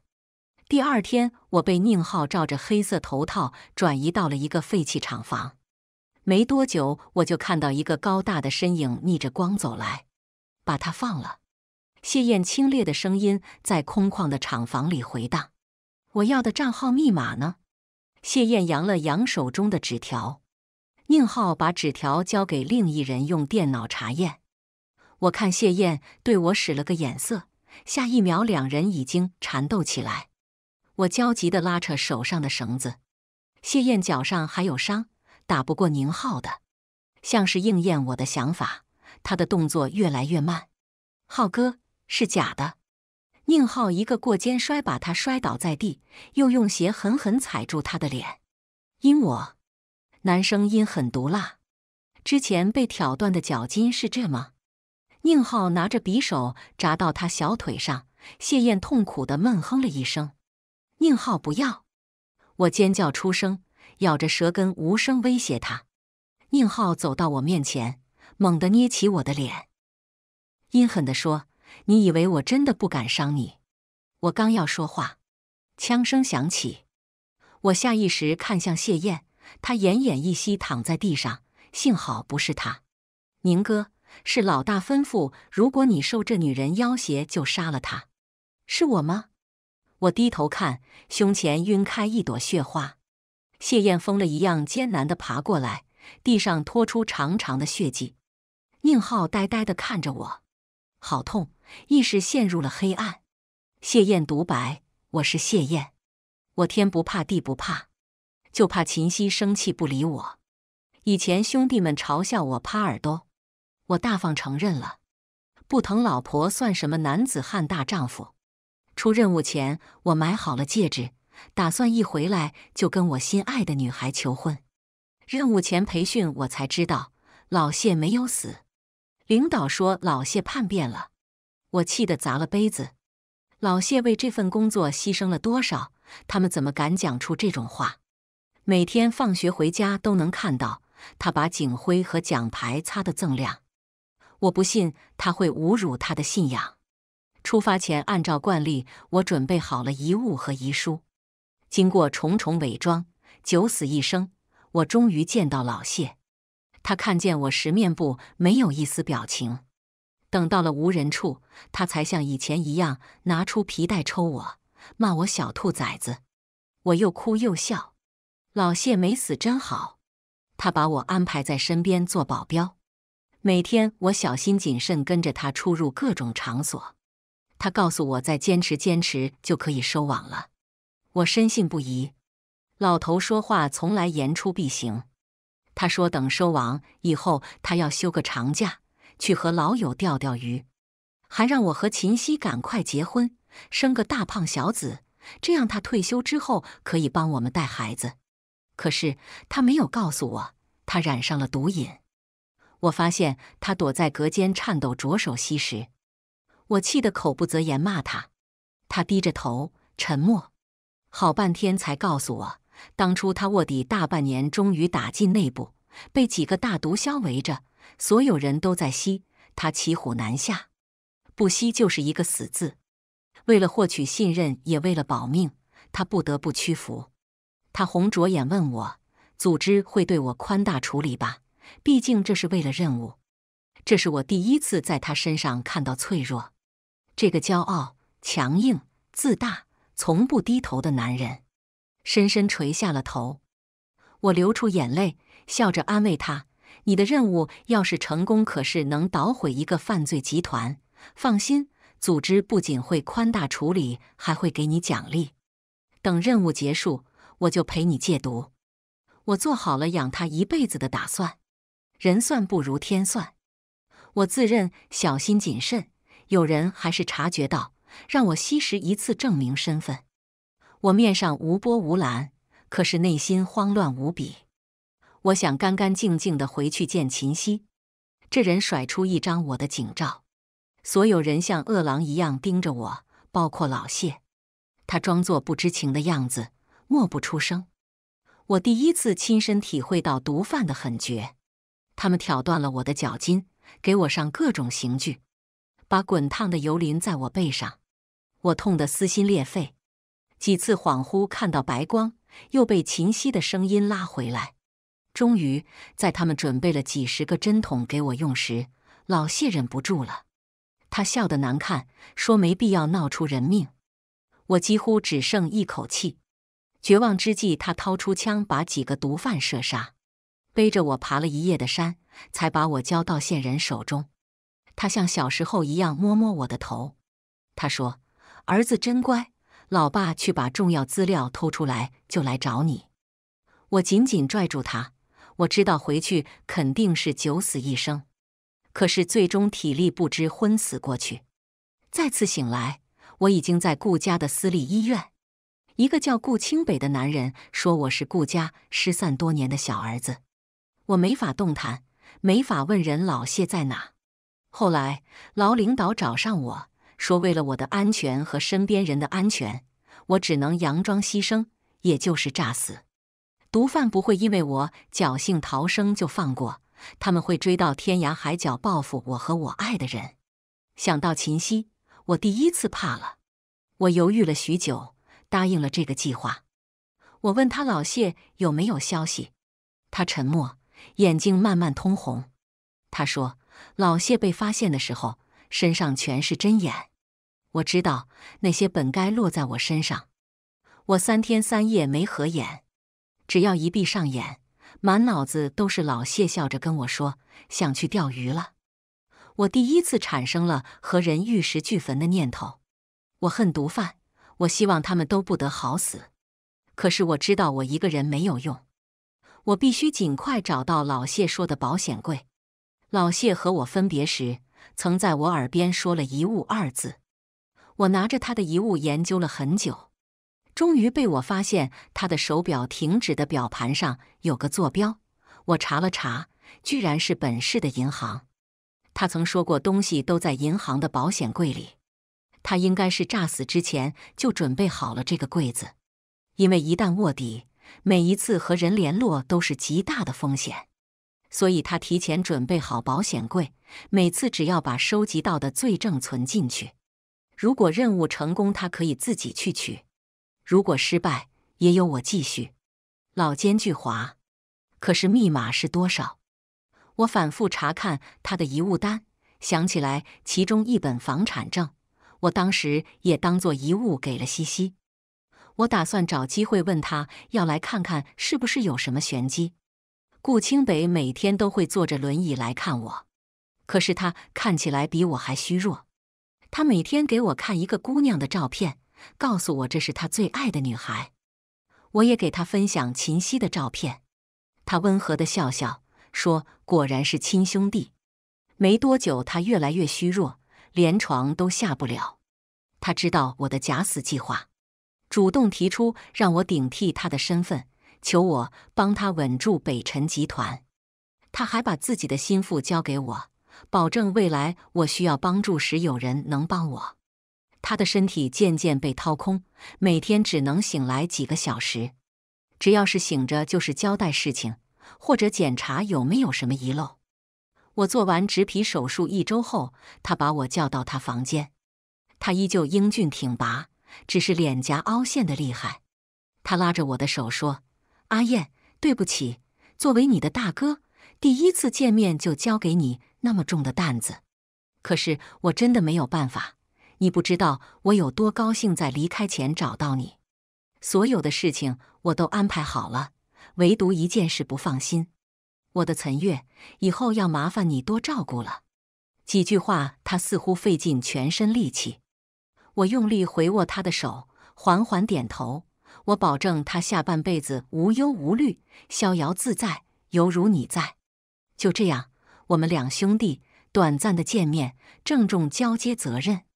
短短月余，我失去了两个至亲，心里沉重无比，越发渴望见秦溪。终于，我见到了他，可是还不如不见。我深深伤了他，他眼中满是悲痛。我恨我自己，居然是伤他最深的人。可是我不敢接近他，也不敢告诉他。不仅如此，我还怕他嫌弃我满身难看的疤痕。我常常会开车去他楼下，看他在窗帘后走动的身影，有时会跟在他身后陪他上下班。我派了很多人暗中保护他，可他还是被盯上了。没人知道我看到视频中他被绑着时有多惊慌。可是我只能装作不认识他，让歹徒以为我真实的人是宋岑月。我很抱歉，可是当下我只能做出这个选择。好在西西最后没有发生什么，不然我真的会绑上炸药包和他们同归于尽。西西看我的眼神不再充满爱意，他按照我的要求不再纠缠我。明明这样他就安全了，为什么我还是那么心痛？心痛的快死去，我发现只有在他身边，我才能缓解这份疼痛。于是我装作挂他的号，制造各种偶遇的机会，这样应该就没人知道我们认识了。我看到他和别的男人一起吃饭，明明可能只是朋友，我却极度的发疯。我不顾一切吻了他，可是他却没有回应我。他骂我自私，他说的对。我凭什么在他整理好心情后又来纠缠他？可是，我真的好难过，我不能再等下去。老领导接到线报说赃款在我身上，我们将计就计，让他们以为警方盯上了我。可是没想到，有人先一步绑走了西西。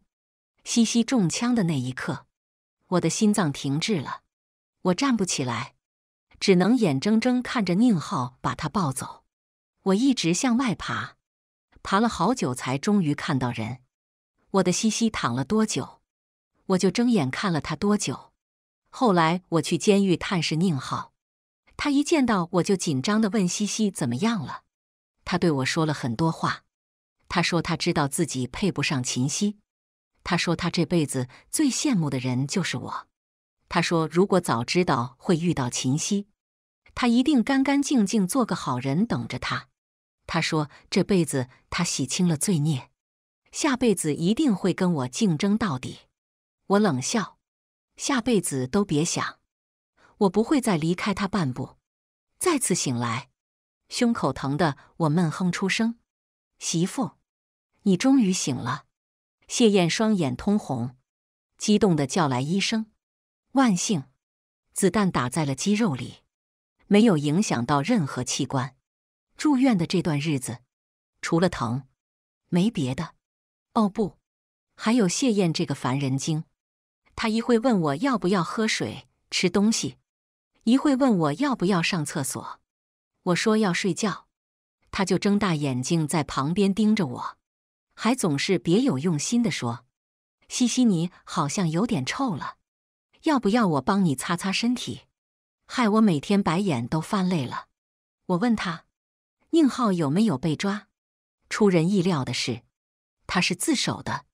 出院后，谢燕死皮赖脸住进了我家，每天宁愿憋屈的蜷缩在我的小沙发上睡，也不愿回自己的大别墅。每次一赶他走，他就委屈的看着我不说话。他像个仓鼠一样，一点点搬东西进来，占满了我的空间。不仅如此，他还每天变着花样做好吃的。企图养胖我，我问他不用上班吗？他骄傲的告诉我，我哥给我打下了江山，下半辈子我有用不完的钱，所以小爷以后最重要的任务就是守着你。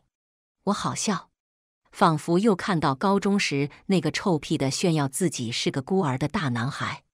省公安厅通报，在八百一十六特大缉毒专案中，缴获毒品一吨，案值十多亿元，并通过国际警务合作，成功摧毁一个跨国走私贩毒团伙。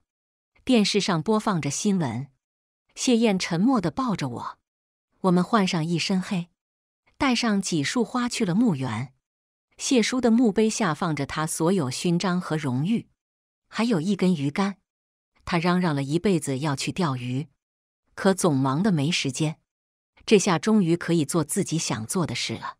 老谢，他们都被抓了，你安心在下面好好过日子，找个媳妇，别老孤孤单单一个鬼。我没好气的拍了他一下，哪有这样跟自己爸爸说话的？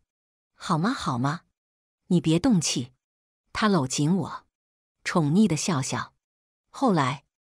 我无意中翻出一封信，儿子，很抱歉在你成长过程中不能常常陪伴你，也很抱歉，你从小到大，我没有夸过你一句，不是因为你不聪明不优秀，而是你一帆风顺的长大，几乎没有受过什么挫折。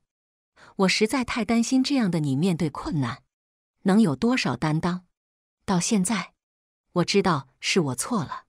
我早该知道的，你是我的儿子，和你老子一样不惧怕任何艰险。很欣慰你也选择了警察这个职业。我这一生，负了很多人，唯一不负这一身警服。希望你能将我的荣光延续下去，守护家国平安。有你这样的儿子，我此生无憾。好了，这个故事就和大家分享到这里了，感谢大家观看。大家好，欢迎来到幸福敲门。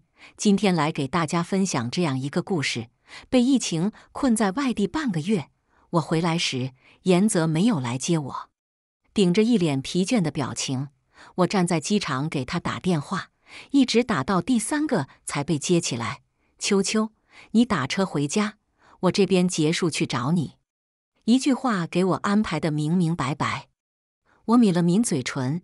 心里的委屈像潮水一样漫上来。严泽，你说过会来接我的，对不起，秋秋，但客户临时更改行程，明天他就要出国了，是笔很重要的单子。电话那边隐约有交谈声传来，是一道陌生的女声。严泽顿了一下，总之，你先回家，等我回去再正式向你道歉，给你补偿。说话间。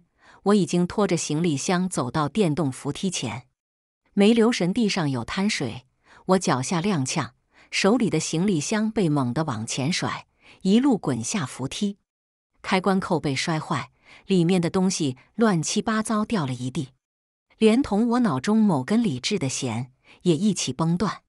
在路人惊异又同情的目光里，我听到自己带着哭腔的声音：“不用了，严泽。”我们分手吧。严泽是我妈打麻将时给我找的相亲对象，是他某位马友的儿子。其实以我的年纪，根本不至于走到这一步，何况他比我大了整整十岁。但我妈说，小严年龄是大了点，但长得一表人才，事业有成，还是个没谈过恋爱的处男呢。我被他的直接震惊到，抱着某种看热闹的心态，和严泽见了一面。然后我就对他一见钟情了。见面那天，我们约在本市最贵的花园餐厅。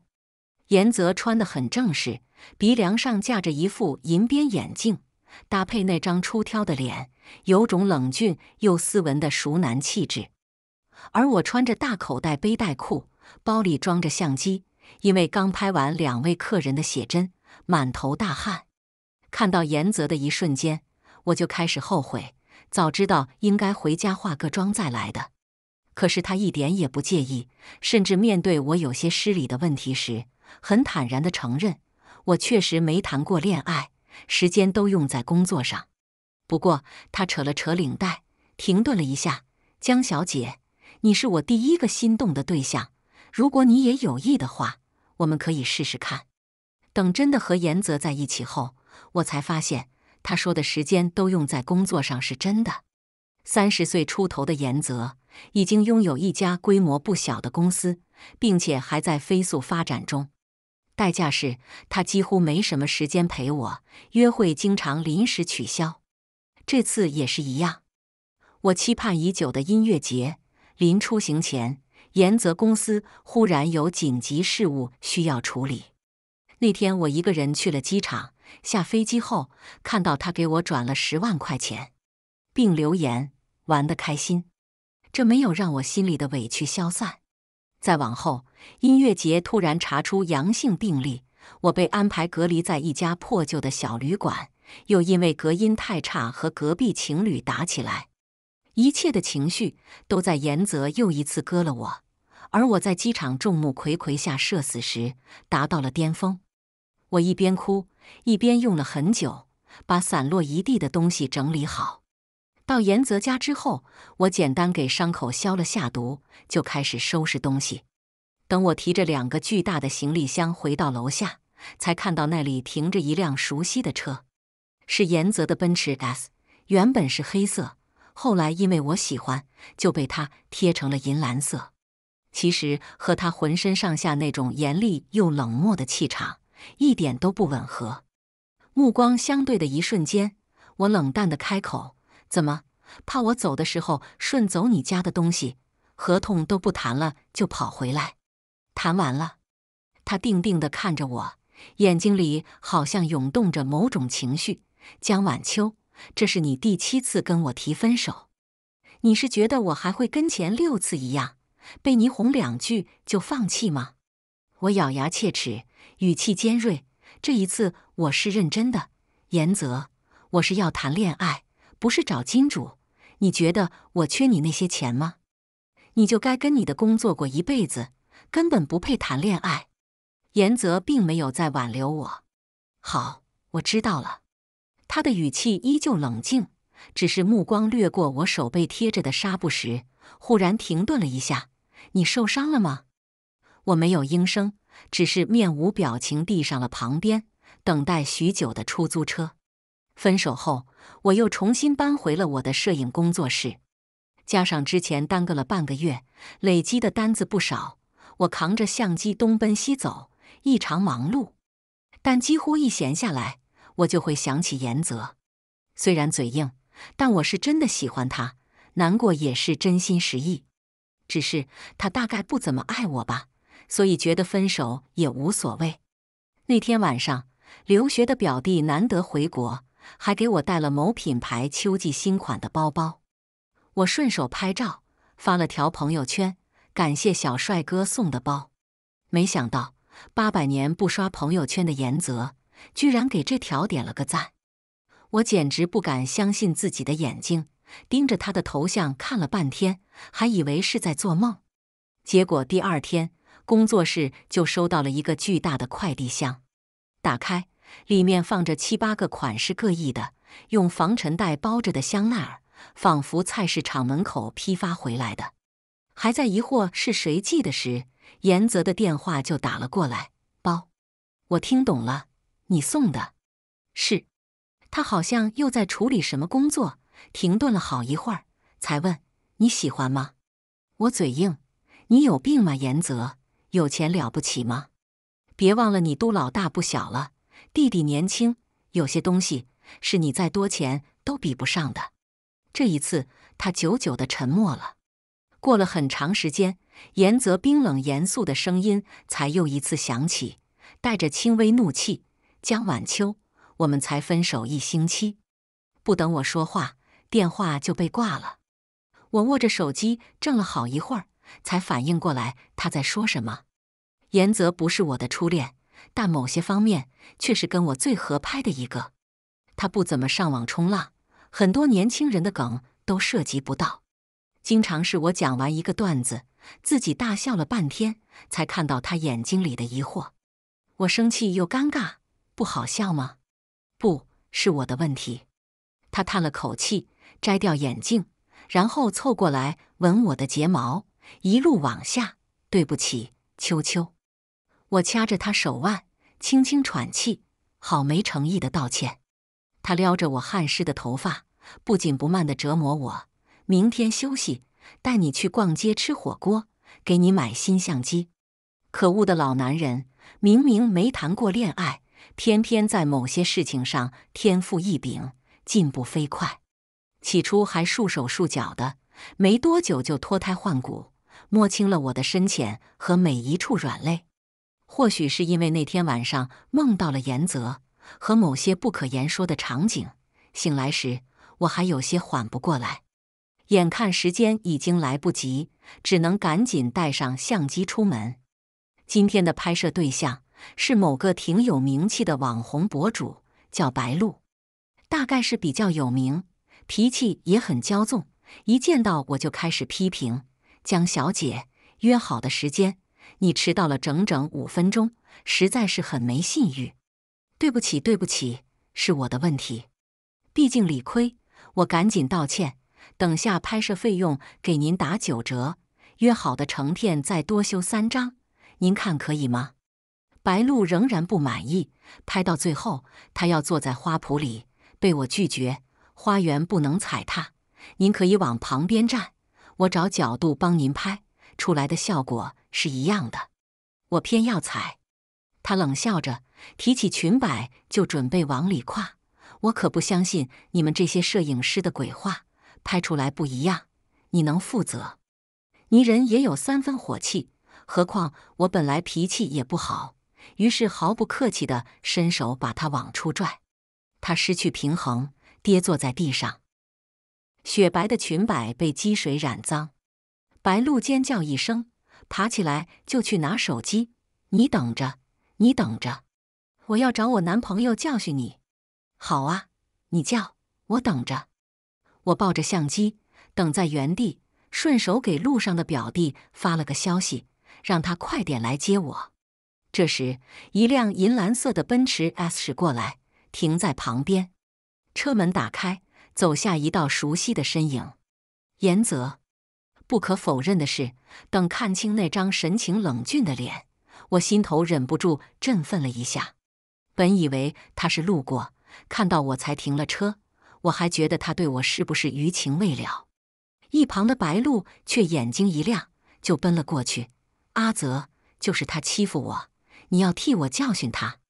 一瞬间，我愣在原地，只觉得心头刚才那一瞬间的惊喜异常难堪，又不免庆幸，要是刚才早开口几秒，我大概会变成这个世界上最丢脸的人。严泽听到他的声音，眉头蹙了一下。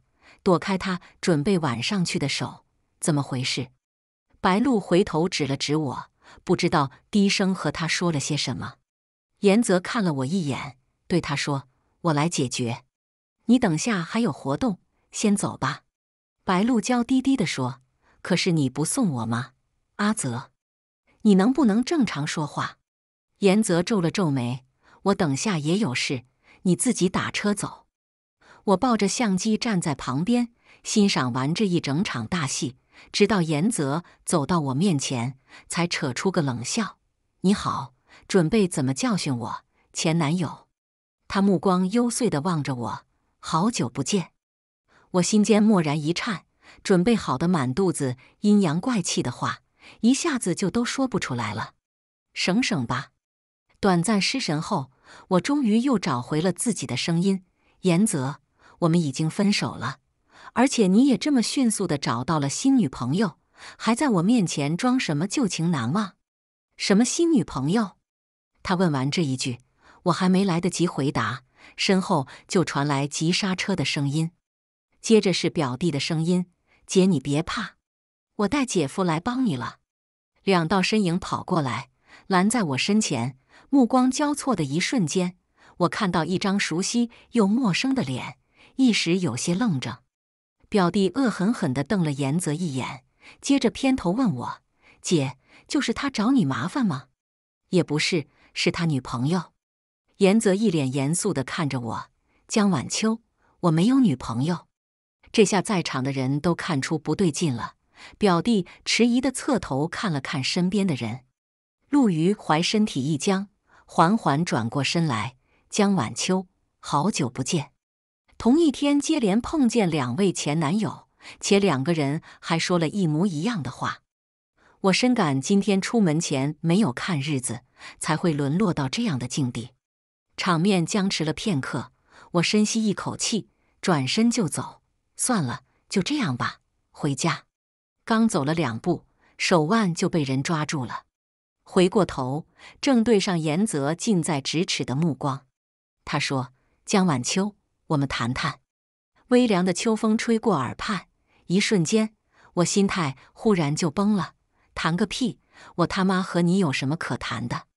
严泽，你好会演啊，在我面前装的和纯情老处男一样，结果呢，才分手半个月，又勾搭上别人。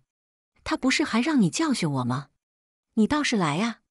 严泽抿了抿唇，忽然一弯腰，直接将我打横抱了起来，身体一轻，我下意识护住了怀里的相机，正要开始挣扎。严泽低头，目光落在我嘴唇上，别乱动，仿佛别有深意的目光，微微沙哑的嗓音，一下子把我拖进某些不可言说的回忆里。很多个灯光摇曳的昏昧夜晚，我试图用无力的手推开严泽时，也会被他一把捉住，放到唇边亲一亲，哑着嗓子凄近：“别乱动，秋秋，你会受不住。”我的脸一下子红得发烫。吞了吞口水，我正要说些什么，一旁的表弟已经冲了过来。你要把我姐带到哪儿去？好小孩，小时候没白给你买那么多零食。严泽淡淡的看了他一眼，我和他有些私事需要解决。他抱着我放进车副驾，扣好安全带，然后在驾驶座上坐好，发动了车子。她不是我女朋友，我也不是特意来帮她。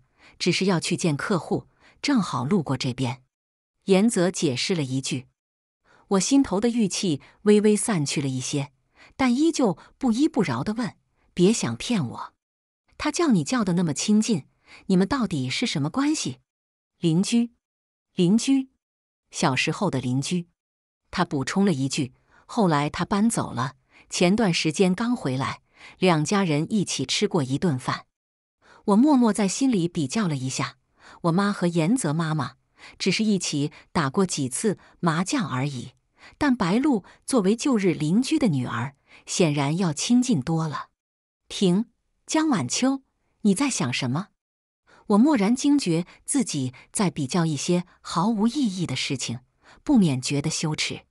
所幸言则没有发觉我在想什么，他只是在静默里又一次开口：“手上的伤。”好了吗？我迟了几秒才反应过来，他说的是什么？好了，怎么弄的？怎么弄的？这个问题让我一瞬间安静下来。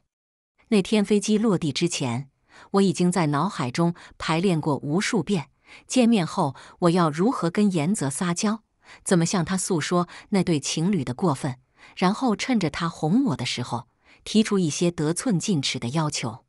比如穿上我装在行李箱里那套半透明的女仆，但一切都终止于他的一通电话。就像现在，我骤然清醒过来，再一次意识到我们已经分手的事实。没什么，就是不小心而已。我的声音也跟着冷淡下来。严泽大概是察觉到了，顿了顿，忽然问我：“你那天发朋友圈的包是刚才那个人送的吗？”以为他说的是表弟，我嗯了一声，然后严泽忽然一打方向盘，车在路口拐弯，滑入一旁的停车位。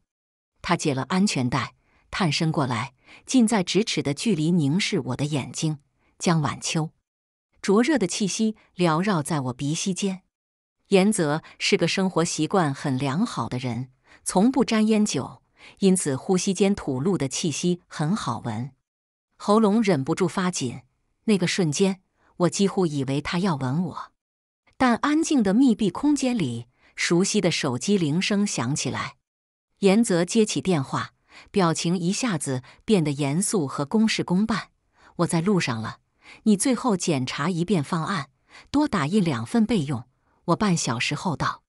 他挂掉电话，看着我：“秋秋，我需要处理一些工作上的事，你在车里等我。”或者先回家，我晚点去找你，可以吗？这就是严泽，永远冷静自持，分得清主次先后。任何人在他的工作和事业面前都得让路。心头悸动，仿佛被一盆冷水兜头泼下。我攥着衣摆，深吸了一口气。不用了，严泽，我们已经分手。分手就意味着结束。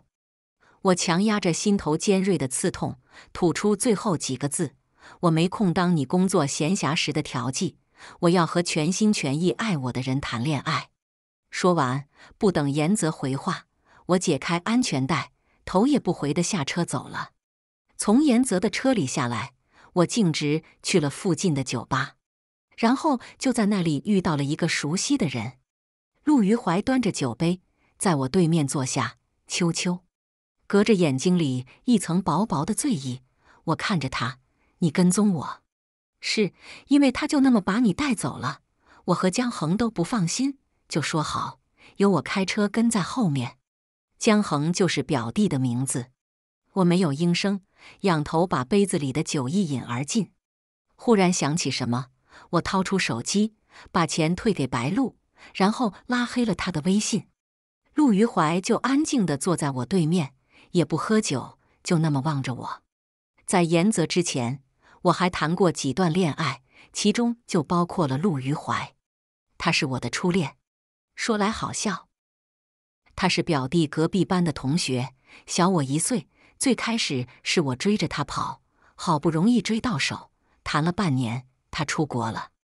异国恋谈的异常辛苦，几次三番，我最需要陪伴的时候，他都不在我身边。于是我崩溃了，分手吧。电话那边，陆余怀沉默了好一会儿。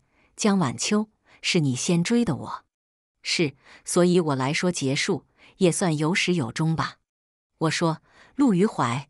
我是个自私的俗人，谈恋爱就是为了快乐。现在我不快乐了，我们只能分开。他什么也没说，只是挂掉了电话。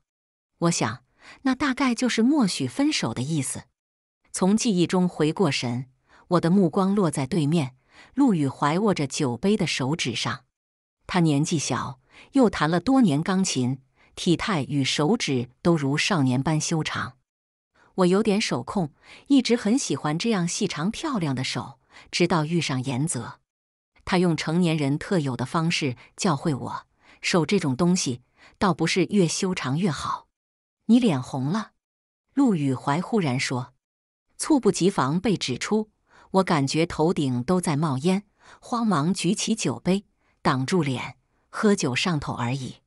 然后手腕就被一股温热的力道握住了。陆余怀用了点力气，拉下我的手，直直望着我的眼睛。江晚秋，明明一开始是你先招惹的我的，现在我走不出来，你就这么喜欢上别人了吗？我一边试图抽回手，一边问：“我喜欢谁了？”你看他的眼神和当年看我的时候一样，还是不一样的。陆余怀，咱俩分开挺久了，我现在想谈的。是成年人的恋爱。当初和陆余怀在一起的时候，因为他年纪太小，我们之间最亲密的接触也不过是一个蜻蜓点水的吻。我也可以和你谈成年人的恋爱。他说着，抿了抿嘴唇，忽然站起来，俯身凑近我：“姐姐，我托江恒送你的包，你喜欢吗？”原来是他送的。我愣了一秒，还没来得及开口。腰间忽然被一股力道往后勾，猝不及防下，我往后仰倒，跌进一个气息熟悉的温热的怀抱。严泽抱着我，居高临下的看向陆羽怀：“人我带走了，别想打他的主意。”陆羽怀的表情冷到极点，他看着我，那双眼睛里藏着无数涌动的情绪。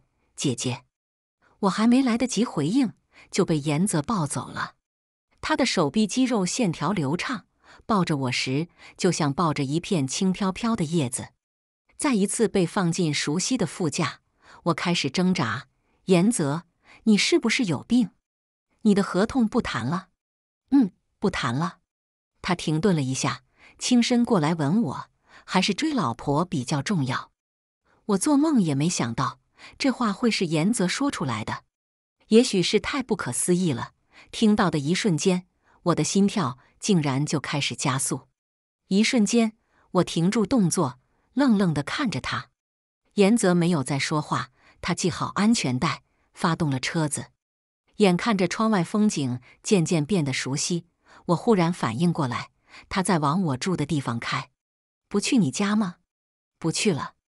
严泽奇怪地停顿了一下，然后说：“你家离得近一些，江晚秋，我们需要好好谈谈。”我没有应声。实际上，只要想起那天在机场的狼狈，我还是会觉得难堪和伤心。秋秋，严泽又叫了我一声。那些被我故意压下去的痛意，又细细密密的从心底泛上来。我觉得没什么好谈的，严泽，我是真的喜欢你，但你实在是太忙，在你的人生排序里，有很多东西都排在我之前，所以说好的约会可以轻而易举的取消。所以你说要来接我，也可以在我落地后告诉我你不来了。我的声音里已经带上了压抑不住的哭腔，所以之前那么多我需要你的时刻，你都缺席了。那天我在机场一边道歉，一边收拾自己的箱子的时候，就已经决定了，我这辈子都不会原谅你的，严泽。昏暗的车灯下，严泽望着我的眼睛，喉结动了动，然后一把抱住我。对不起，秋秋。他微微停顿了一下。声线更低沉。我不知道你遇到了那么多麻烦，以后一定不会发生这种事了。我向你保证。声音里裹挟着厚重的歉意，像一场姗姗来迟的雨，浇灭了我心头的怒气，却又有另一种火焰燃起。落在我腰间的手心触感滚烫又熟悉。我吞了吞口水，决定用成年人的方式来解决这个问题。只道歉就可以了吗？我说。上楼，我们详细聊聊这个问题。卧室暖黄的灯光下，严泽望着那件短小的黑白女仆装，陷入了久久的沉默。我用脚尖勾着小腿晃悠晃悠，坐在飘窗上看着他，故意挑着眉毛冷笑：“怎么，这点付出都不愿意？怎么好意思让我原谅你？”说完，我站起身，拉开卧室门：“请离开我家，严先生。”严泽一把握住了我的手腕，我穿。他的嗓音低沉而轻缓：“秋秋，后果你最好承担得起。”声音传入耳中，我被拖拽进某些色调旖旎的场景里去，脑子昏昏沉沉。窗外乌云飘来，遮住月亮，淅淅沥沥的夜雨落下，摇晃的窗帘布漏进一线光亮。我颤颤地问：“严泽，你怎么了？口渴？”我擦掉眼尾的泪水，试图站起身。那我去帮你倒水。话音未落，就被严泽拽了回去。他嗓音更哑：“不用。”第二天醒来时，我嗓子疼得难受。严泽倒了杯水过来，喂我喝完，又问我：“算和好了吗？”“不算。”我说：“你还在考察期，要想转正，请多努力。”严总，之前恋爱的时候。有一次，为了等严泽一起约会，我去过他们公司，看着那些跟我差不多大的年轻人，一口一个严总地叫他。为了好玩，我也故意这么叫他。严总，您还缺私人秘书吗？我可以应聘吗？结果那天晚上，严泽失控了。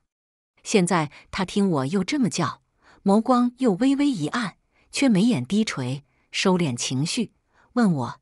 今天有拍摄吗？有，我赶紧说。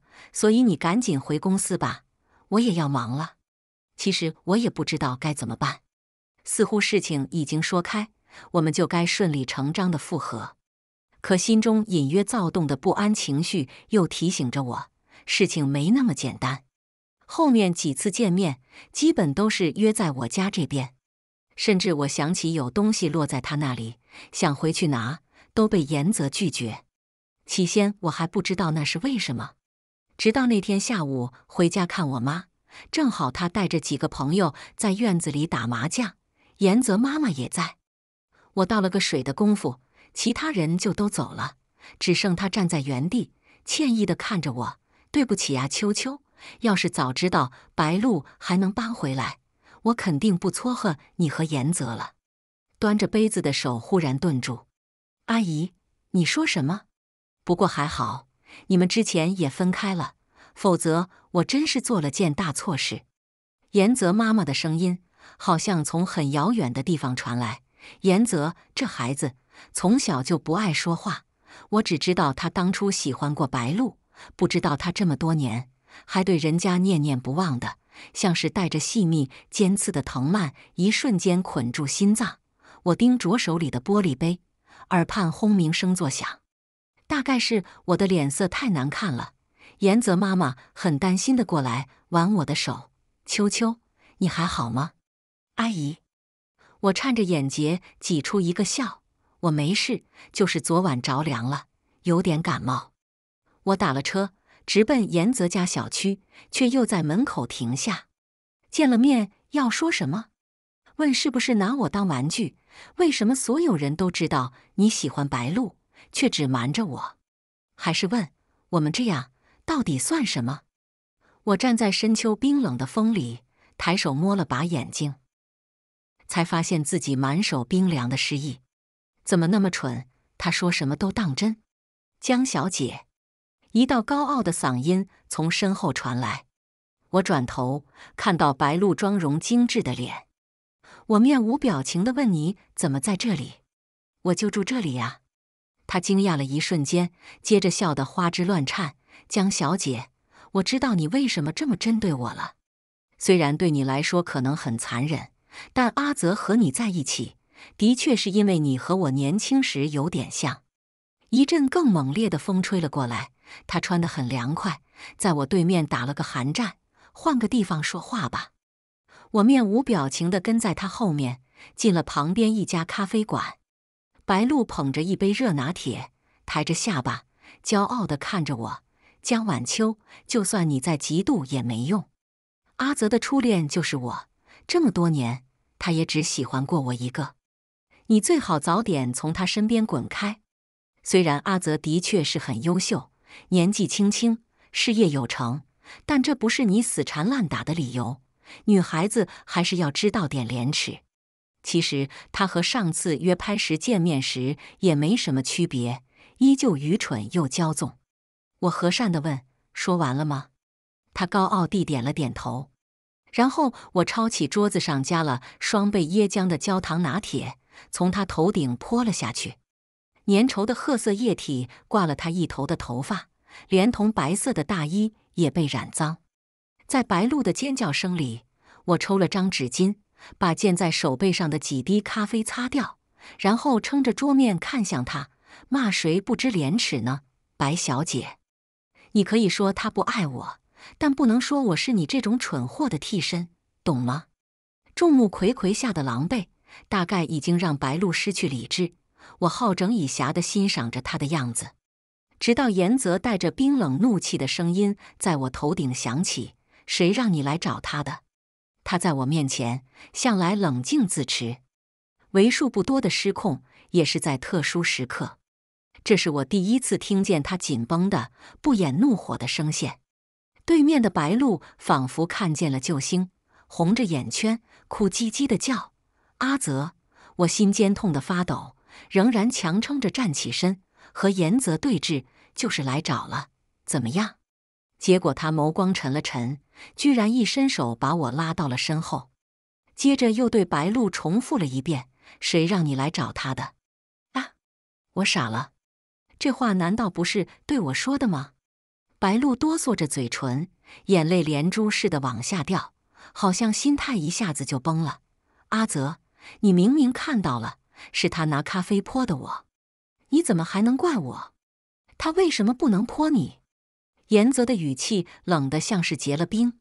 你不打一声招呼就擅自搬来和我做邻居，在我妈面前胡说八道，现在又来为难我女朋友，难道我还要夸你一句做得好？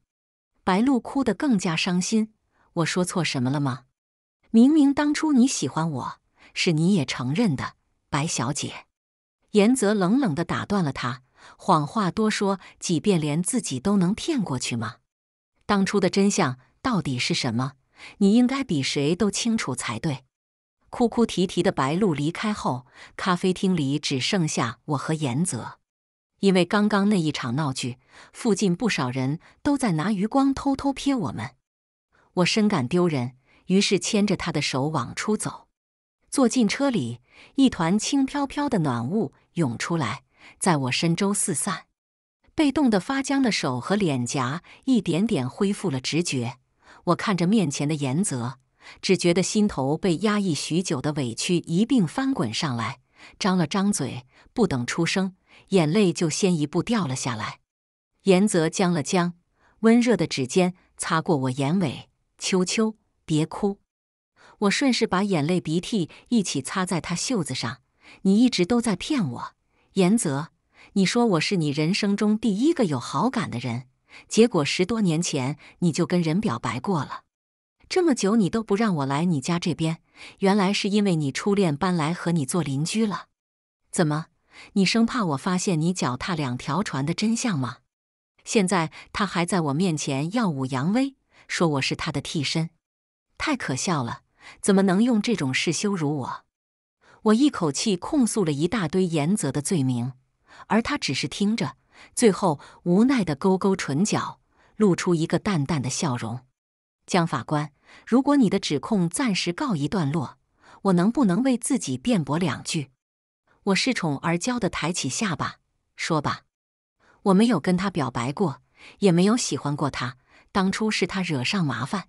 想用这个噱头逼对方知难而退，我出于多年邻居的情分才同意的。严泽稍微停顿了一下，我妈刚才打电话来说她不小心说漏了这件事，看你表情不是很好的样子，所以我也把真相告诉她了。至于她搬过来这件事，我没有告诉你，是不想让你和她有任何接触。这个人很极端，也很不择手段，虽然表面看起来很蠢。他三言两语就解释清楚了所有误会，但我心中莫名郁结的情绪并没有散去。沉默片刻，我闷声说：“但我还是不高兴。”严泽，他很有耐心，低声哄我：“嗯，为什么？”我答不上来，心里乱七八糟的情绪融化成一团，把我的全部理智都包裹住了。其实从一开始。我和严泽之间的矛盾根源就并不是因为白露。当初在一起的时候吵架，三番五次的提分手，都是因为生活步调上的不一致。在我出现之前，他的生活已经在从前的三十一年里定了型，井井有条，严肃刻板。因此，他的公司、客户、工作，很多东西的优先级都排在我之前。哪怕那天晚上。他暂时丢下客户，回来酒吧找我，也只有这一次而已。我想在任何时候，你都可以优先选择我。无理取闹的话卡在嘴边，却怎么都吐不出来。于是最后，我垂头丧气地说：“要不还是算了吧，我们年龄差距太大，本身也不是很合适。”就话还没说完，严泽忽然伸手一把抱住了我。其实我也知道目前的状态不适合，所以那天你说要分开，我没有反驳，但我失败了，因为我没办法适应离开你的生活。他的手指在我后背寸寸收紧，不是说还在考察期吗？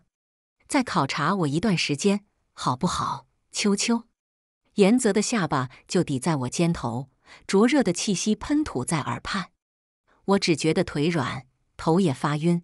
稀里糊涂地就被他带上了贼船，大概是因为不想让我见到白露，严泽收拾了他在本市的另一处房产，带着我搬了进去。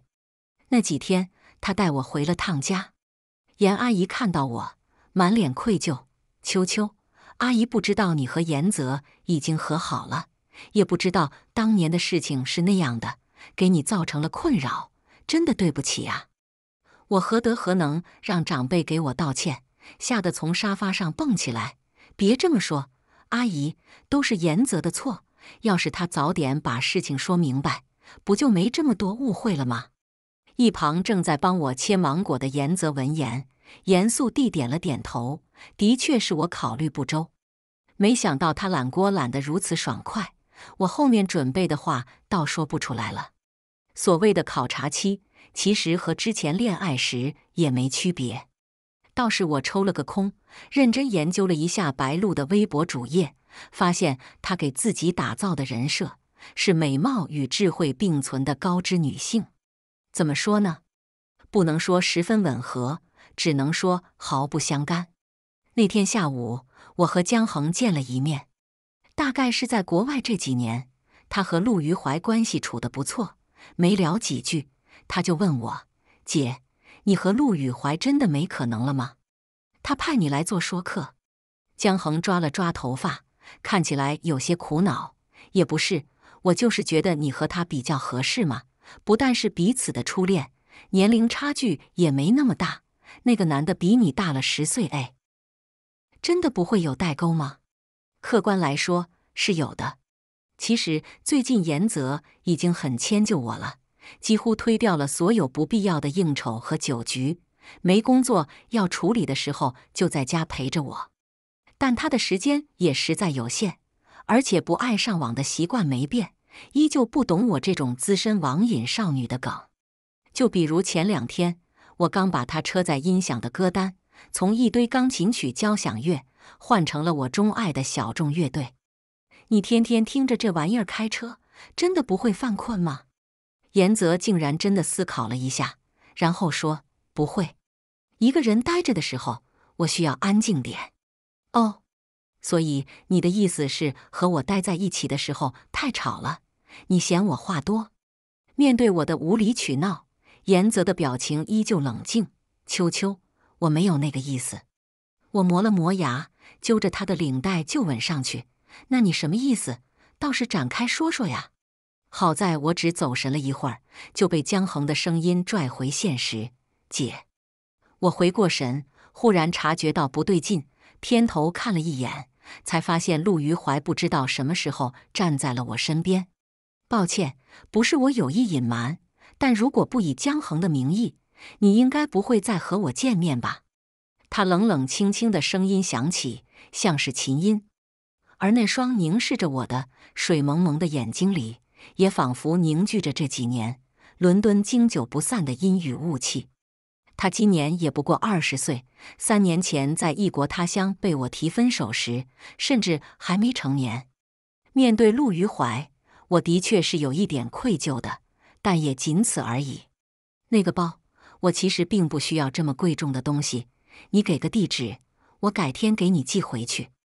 陆余怀抿了抿唇，突然撑着桌面俯下身，一点点凑到我近前。一开始以为是江恒送的，你怎么就收了？姐姐就这么讨厌我，一个包都要和我划清界限？不能这么说，江恒是我弟，但你和我……总之，我们已经分手三年，我现在也已经有男朋友了，收下你的礼物并不合适。我往后躲了躲。没想到陆羽怀寸步不让，又跟着逼近，眼里情绪翻涌，像是堆积的乌云。当初你跟我提分手，理由是在你需要的时候，我没办法陪在你身边，那他就可以吗？你最需要陪伴的时候，他都在吗？这话无疑戳中了我心底最隐秘的软肋，我微微失神了一秒，紧接着就听到了一阵由远及近的急促脚步声。面前陆余怀的脸忽然消失，我回过神，看到严泽暗含怒意的神色，他正冷冷地盯着陆余怀，语带警告：“我说过，别打他的主意。”被拎开的陆余怀整了整皱起的领口，分毫不让：“怎么，你没空陪他，还不许别人来？”严泽眼睛里幽邃翻滚，接着他闭了闭眼，不再理会陆余怀，只是看着我。秋秋，你说过只是来和你表弟见个面，我可能耳朵出了问题，不然怎么从他的声音里听出了一丝委屈？我的确是来和我表弟见面的。我赶紧瞪了一眼对面的江恒，解释一下。江恒赶紧说：“确实是我偷偷把人带过来的，我姐不知情，姐夫你别怪他。”陆余怀站在原地，抿着唇没说话。严泽微微点头，语气依旧发冷。既然如此，我就先和他回家了。跟在严泽身后上车时，我还在想这事该怎么解释。结果他沉默片刻，反倒先一步开口了：“所以你要同时考察两个人吗？”我侧头去看，才发现他下颌线紧绷，神情有种说不出的冷肃，像是生气，又像是紧张。怎么可能？不是说了是偶遇吗？我不想再纠结这件事，于是转移话题。不过现在是上班时间，你怎么会突然出现在这里呀？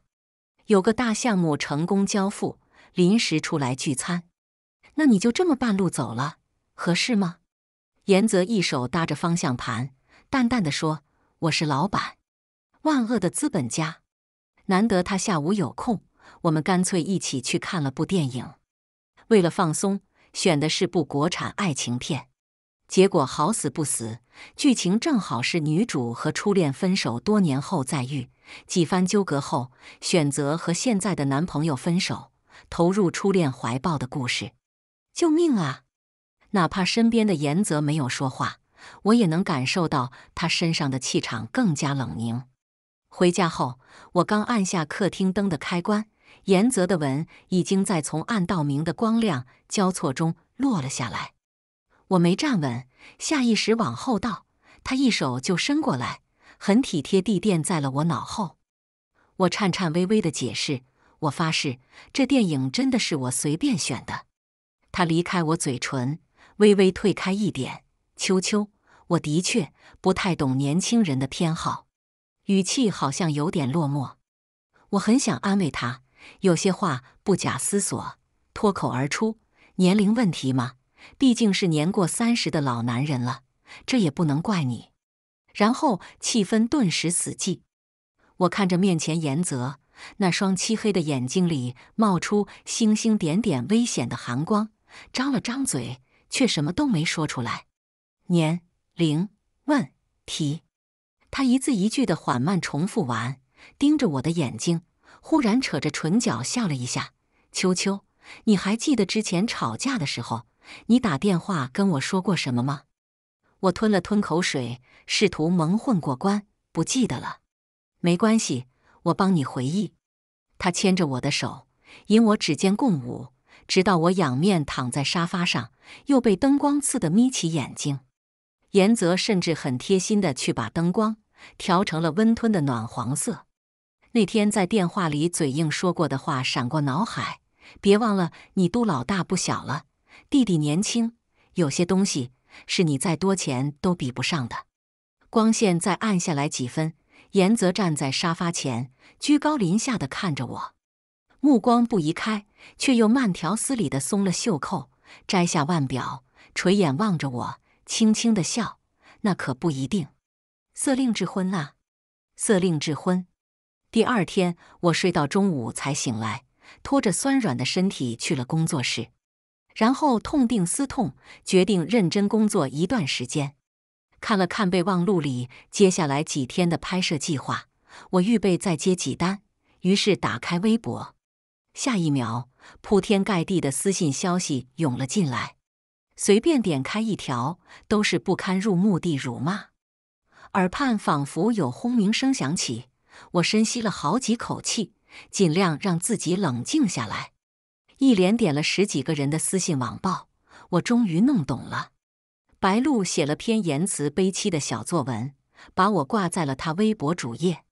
在他的叙述中，我是拆散他和严泽这对重逢的有情人的恶毒女配，嚣张跋扈到极点。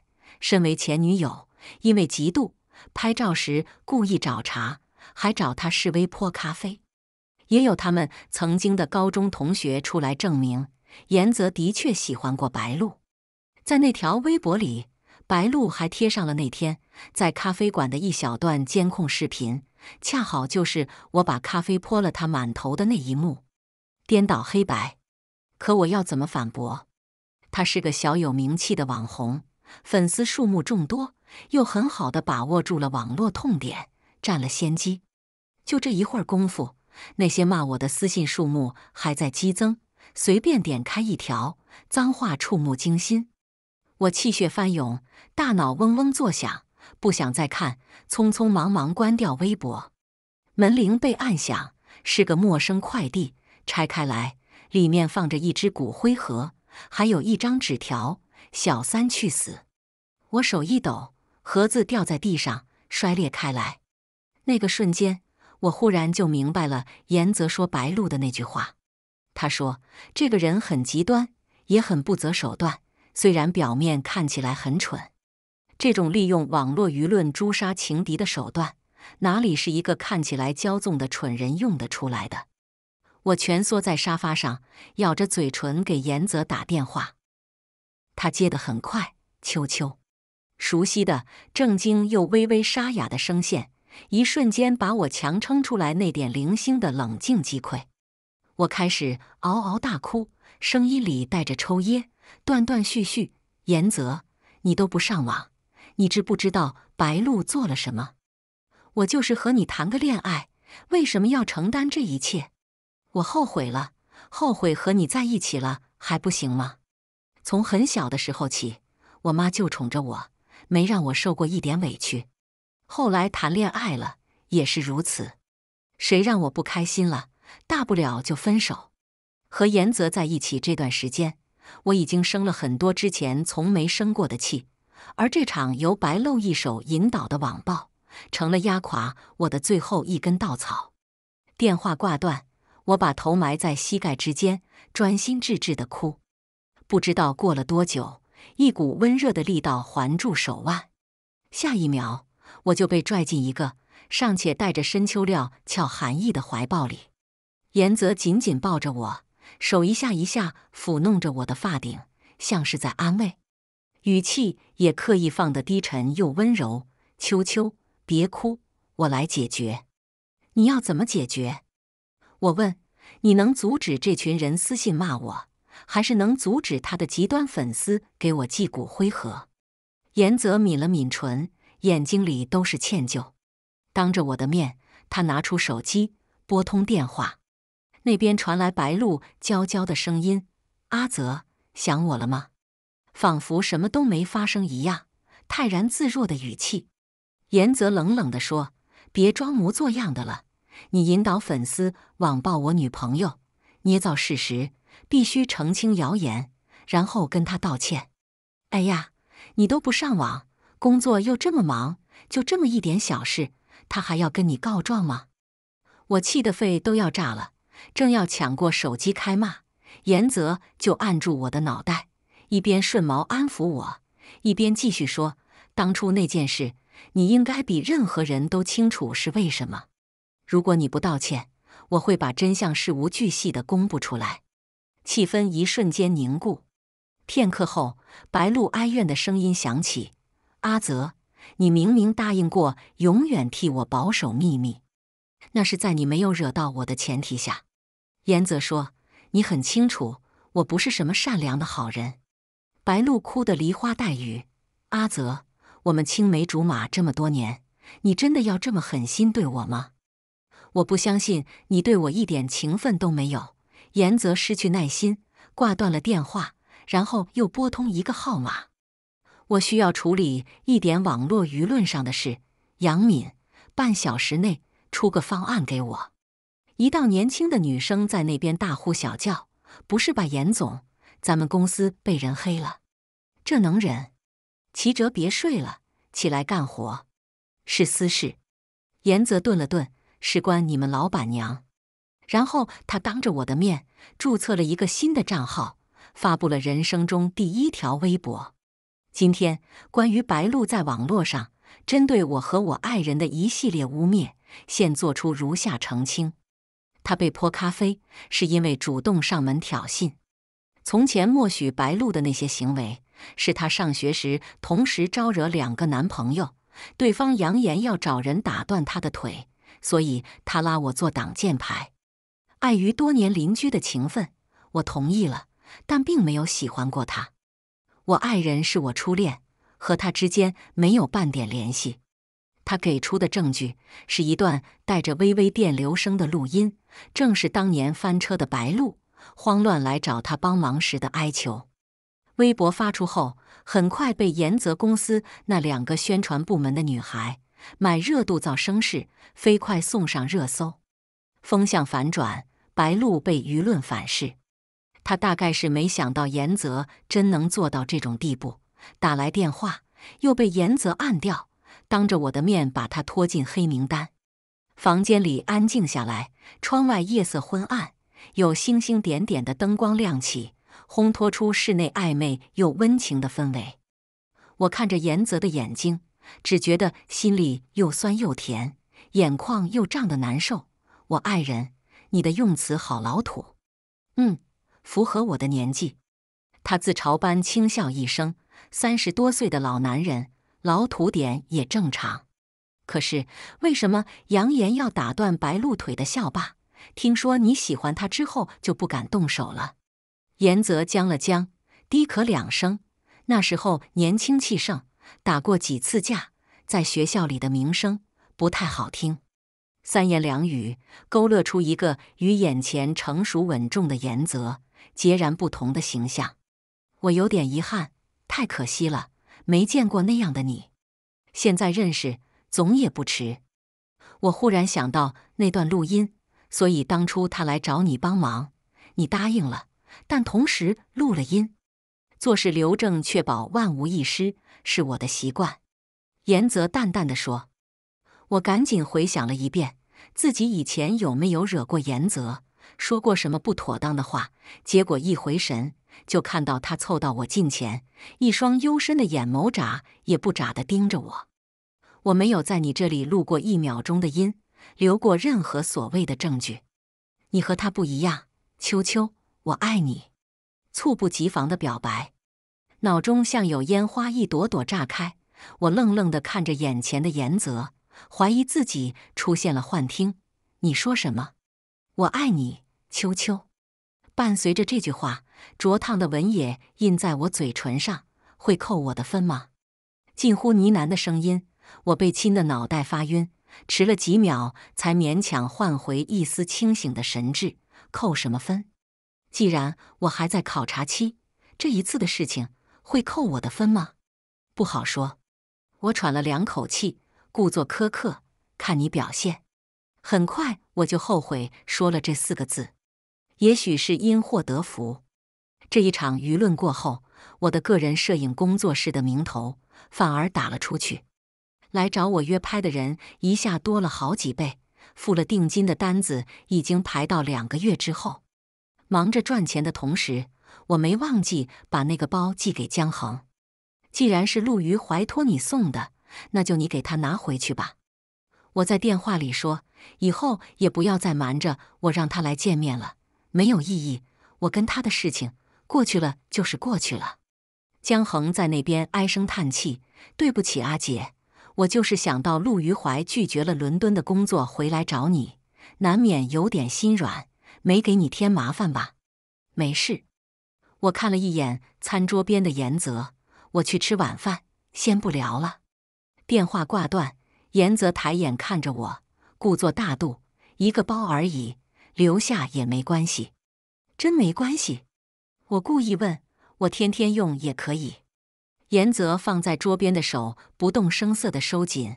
每天用同一个包不好搭配，我再多送你几十个吧。几十个，那我一个月还能用上两次重复的吗？老男人吃起醋来真是笑死人。晚上，严泽在书房处理工作，我抱着游戏机在旁边玩塞尔达。由于太过投入，也没太听得进去他刚才说了什么。直到严泽走到我面前，摘下那副处理工作时才会戴的银边眼镜，撑着扶手俯下身来，玩得这么专注，都不听我说话。我一边练习盾反，一边随口说：“你以前不也这样吗？一旦沉浸在工作里，我跟你说话都听不进去。”严泽停顿了一下，然后又跟我道歉。对不起，这段时间他已经跟我说过很多次对不起。我想了想，把手里的 Switch 递给他，然后起身往浴室走了几步，又回过头，看到严泽眼睛里的疑惑，我又补充了一句：“光嘴上道歉有什么用？我先去洗澡，你把这只人马打死，我就原谅你。”接下来的日子里，原本就工作忙碌的严泽生活更加充实了。我甚至看到，因为上次白露那件事，加了微信好友的杨敏发了条朋友圈，真是活见鬼了。下午去老板办公室送终审方案，看到连微博都不刷的他在查游戏攻略，三十秒无伤打人马教学。我截图了那条朋友圈，心情不好就翻出来笑一笑。大概是严泽真的有点天赋异禀，研究了四五天之后，真的帮我打死了人马，还是无伤完成。他把我的游戏机还回来，然后说：“秋秋。”我下个月十号要出去一趟，干什么？去上海谈融资的事。他郑重其事地说：“我的公司应该快要上市了。”我很为严泽高兴，他却满目歉意：“十号是你的二十二岁生日。”哦，不过也没关系。这句话倒是真心实意。在我们家，生日一般都是过农历，因为单子排得很满，哪怕是生日这天。也不能休息，不过想想是为了赚钱，我动力十足。有个早就跟我约了时间的小妹妹，说要拍一组工业颓废风的写真。几番协商，敲定了市郊一家废弃多年的工厂。到了那天早上，我专门提醒了她一句，要带好假血浆，然后才过去和严泽一起吃早饭。他是中午的飞机，等下就要出发去机场。我正在啃三明治，一抬眼就看到严泽坐在对面，目不转睛地看着我。干什么？我在想，晚去一天也没关系，还是陪你过完生日吧。我大感意外，有点恋爱脑了哈。严总，你以前不是这样的。放在过去，什么生日纪念日的，在你的公司面前都得往后靠。以前的我不识抬举。严泽轻轻叹了口气：“合同丢了可以再谈，喜欢的人跑了就是真的跑了。”话虽这么说，我还是几口吃完早饭，收拾了相机和镜头。真的不用，我等下也有拍摄呢。你还是好好去谈你的合作，早去早回。出租车一路行至工厂门口，司机师傅友情提醒我：“这边地方很偏，你一个小姑娘要注意安全。”谢谢叔叔，不过没事的。我们是两个女孩子，过来拍点照片就走。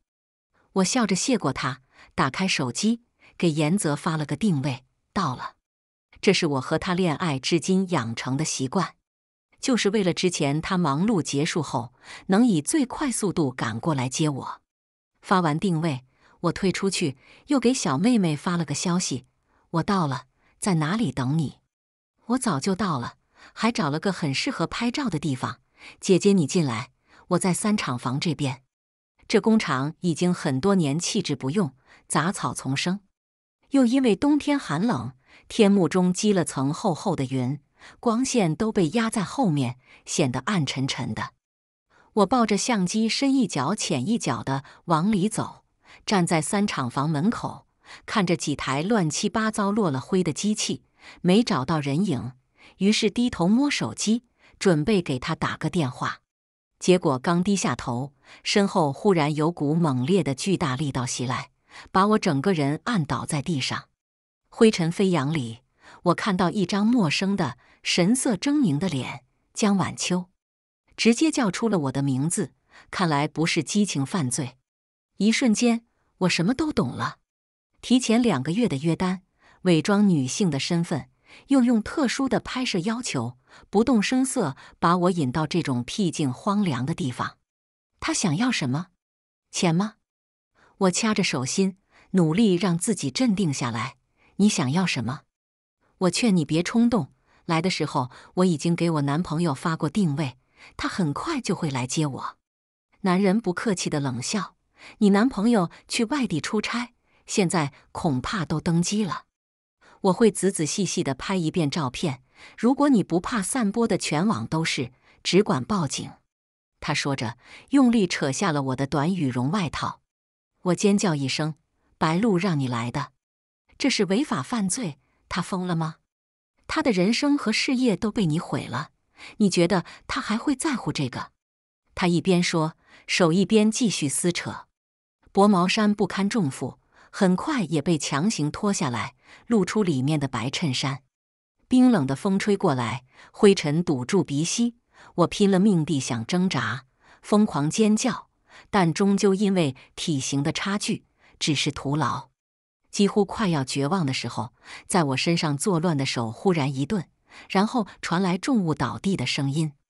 我睁开眼睛，隔着一层朦胧的眼泪，看到严泽的脸。那一瞬间，我几乎以为是幻觉。他丢下手里生锈的铁质扳手，急促地喘了两口气，然后一把将我从地上抱了起来。那双一贯冷静的眼睛里，怒意燃烧，火星四溅。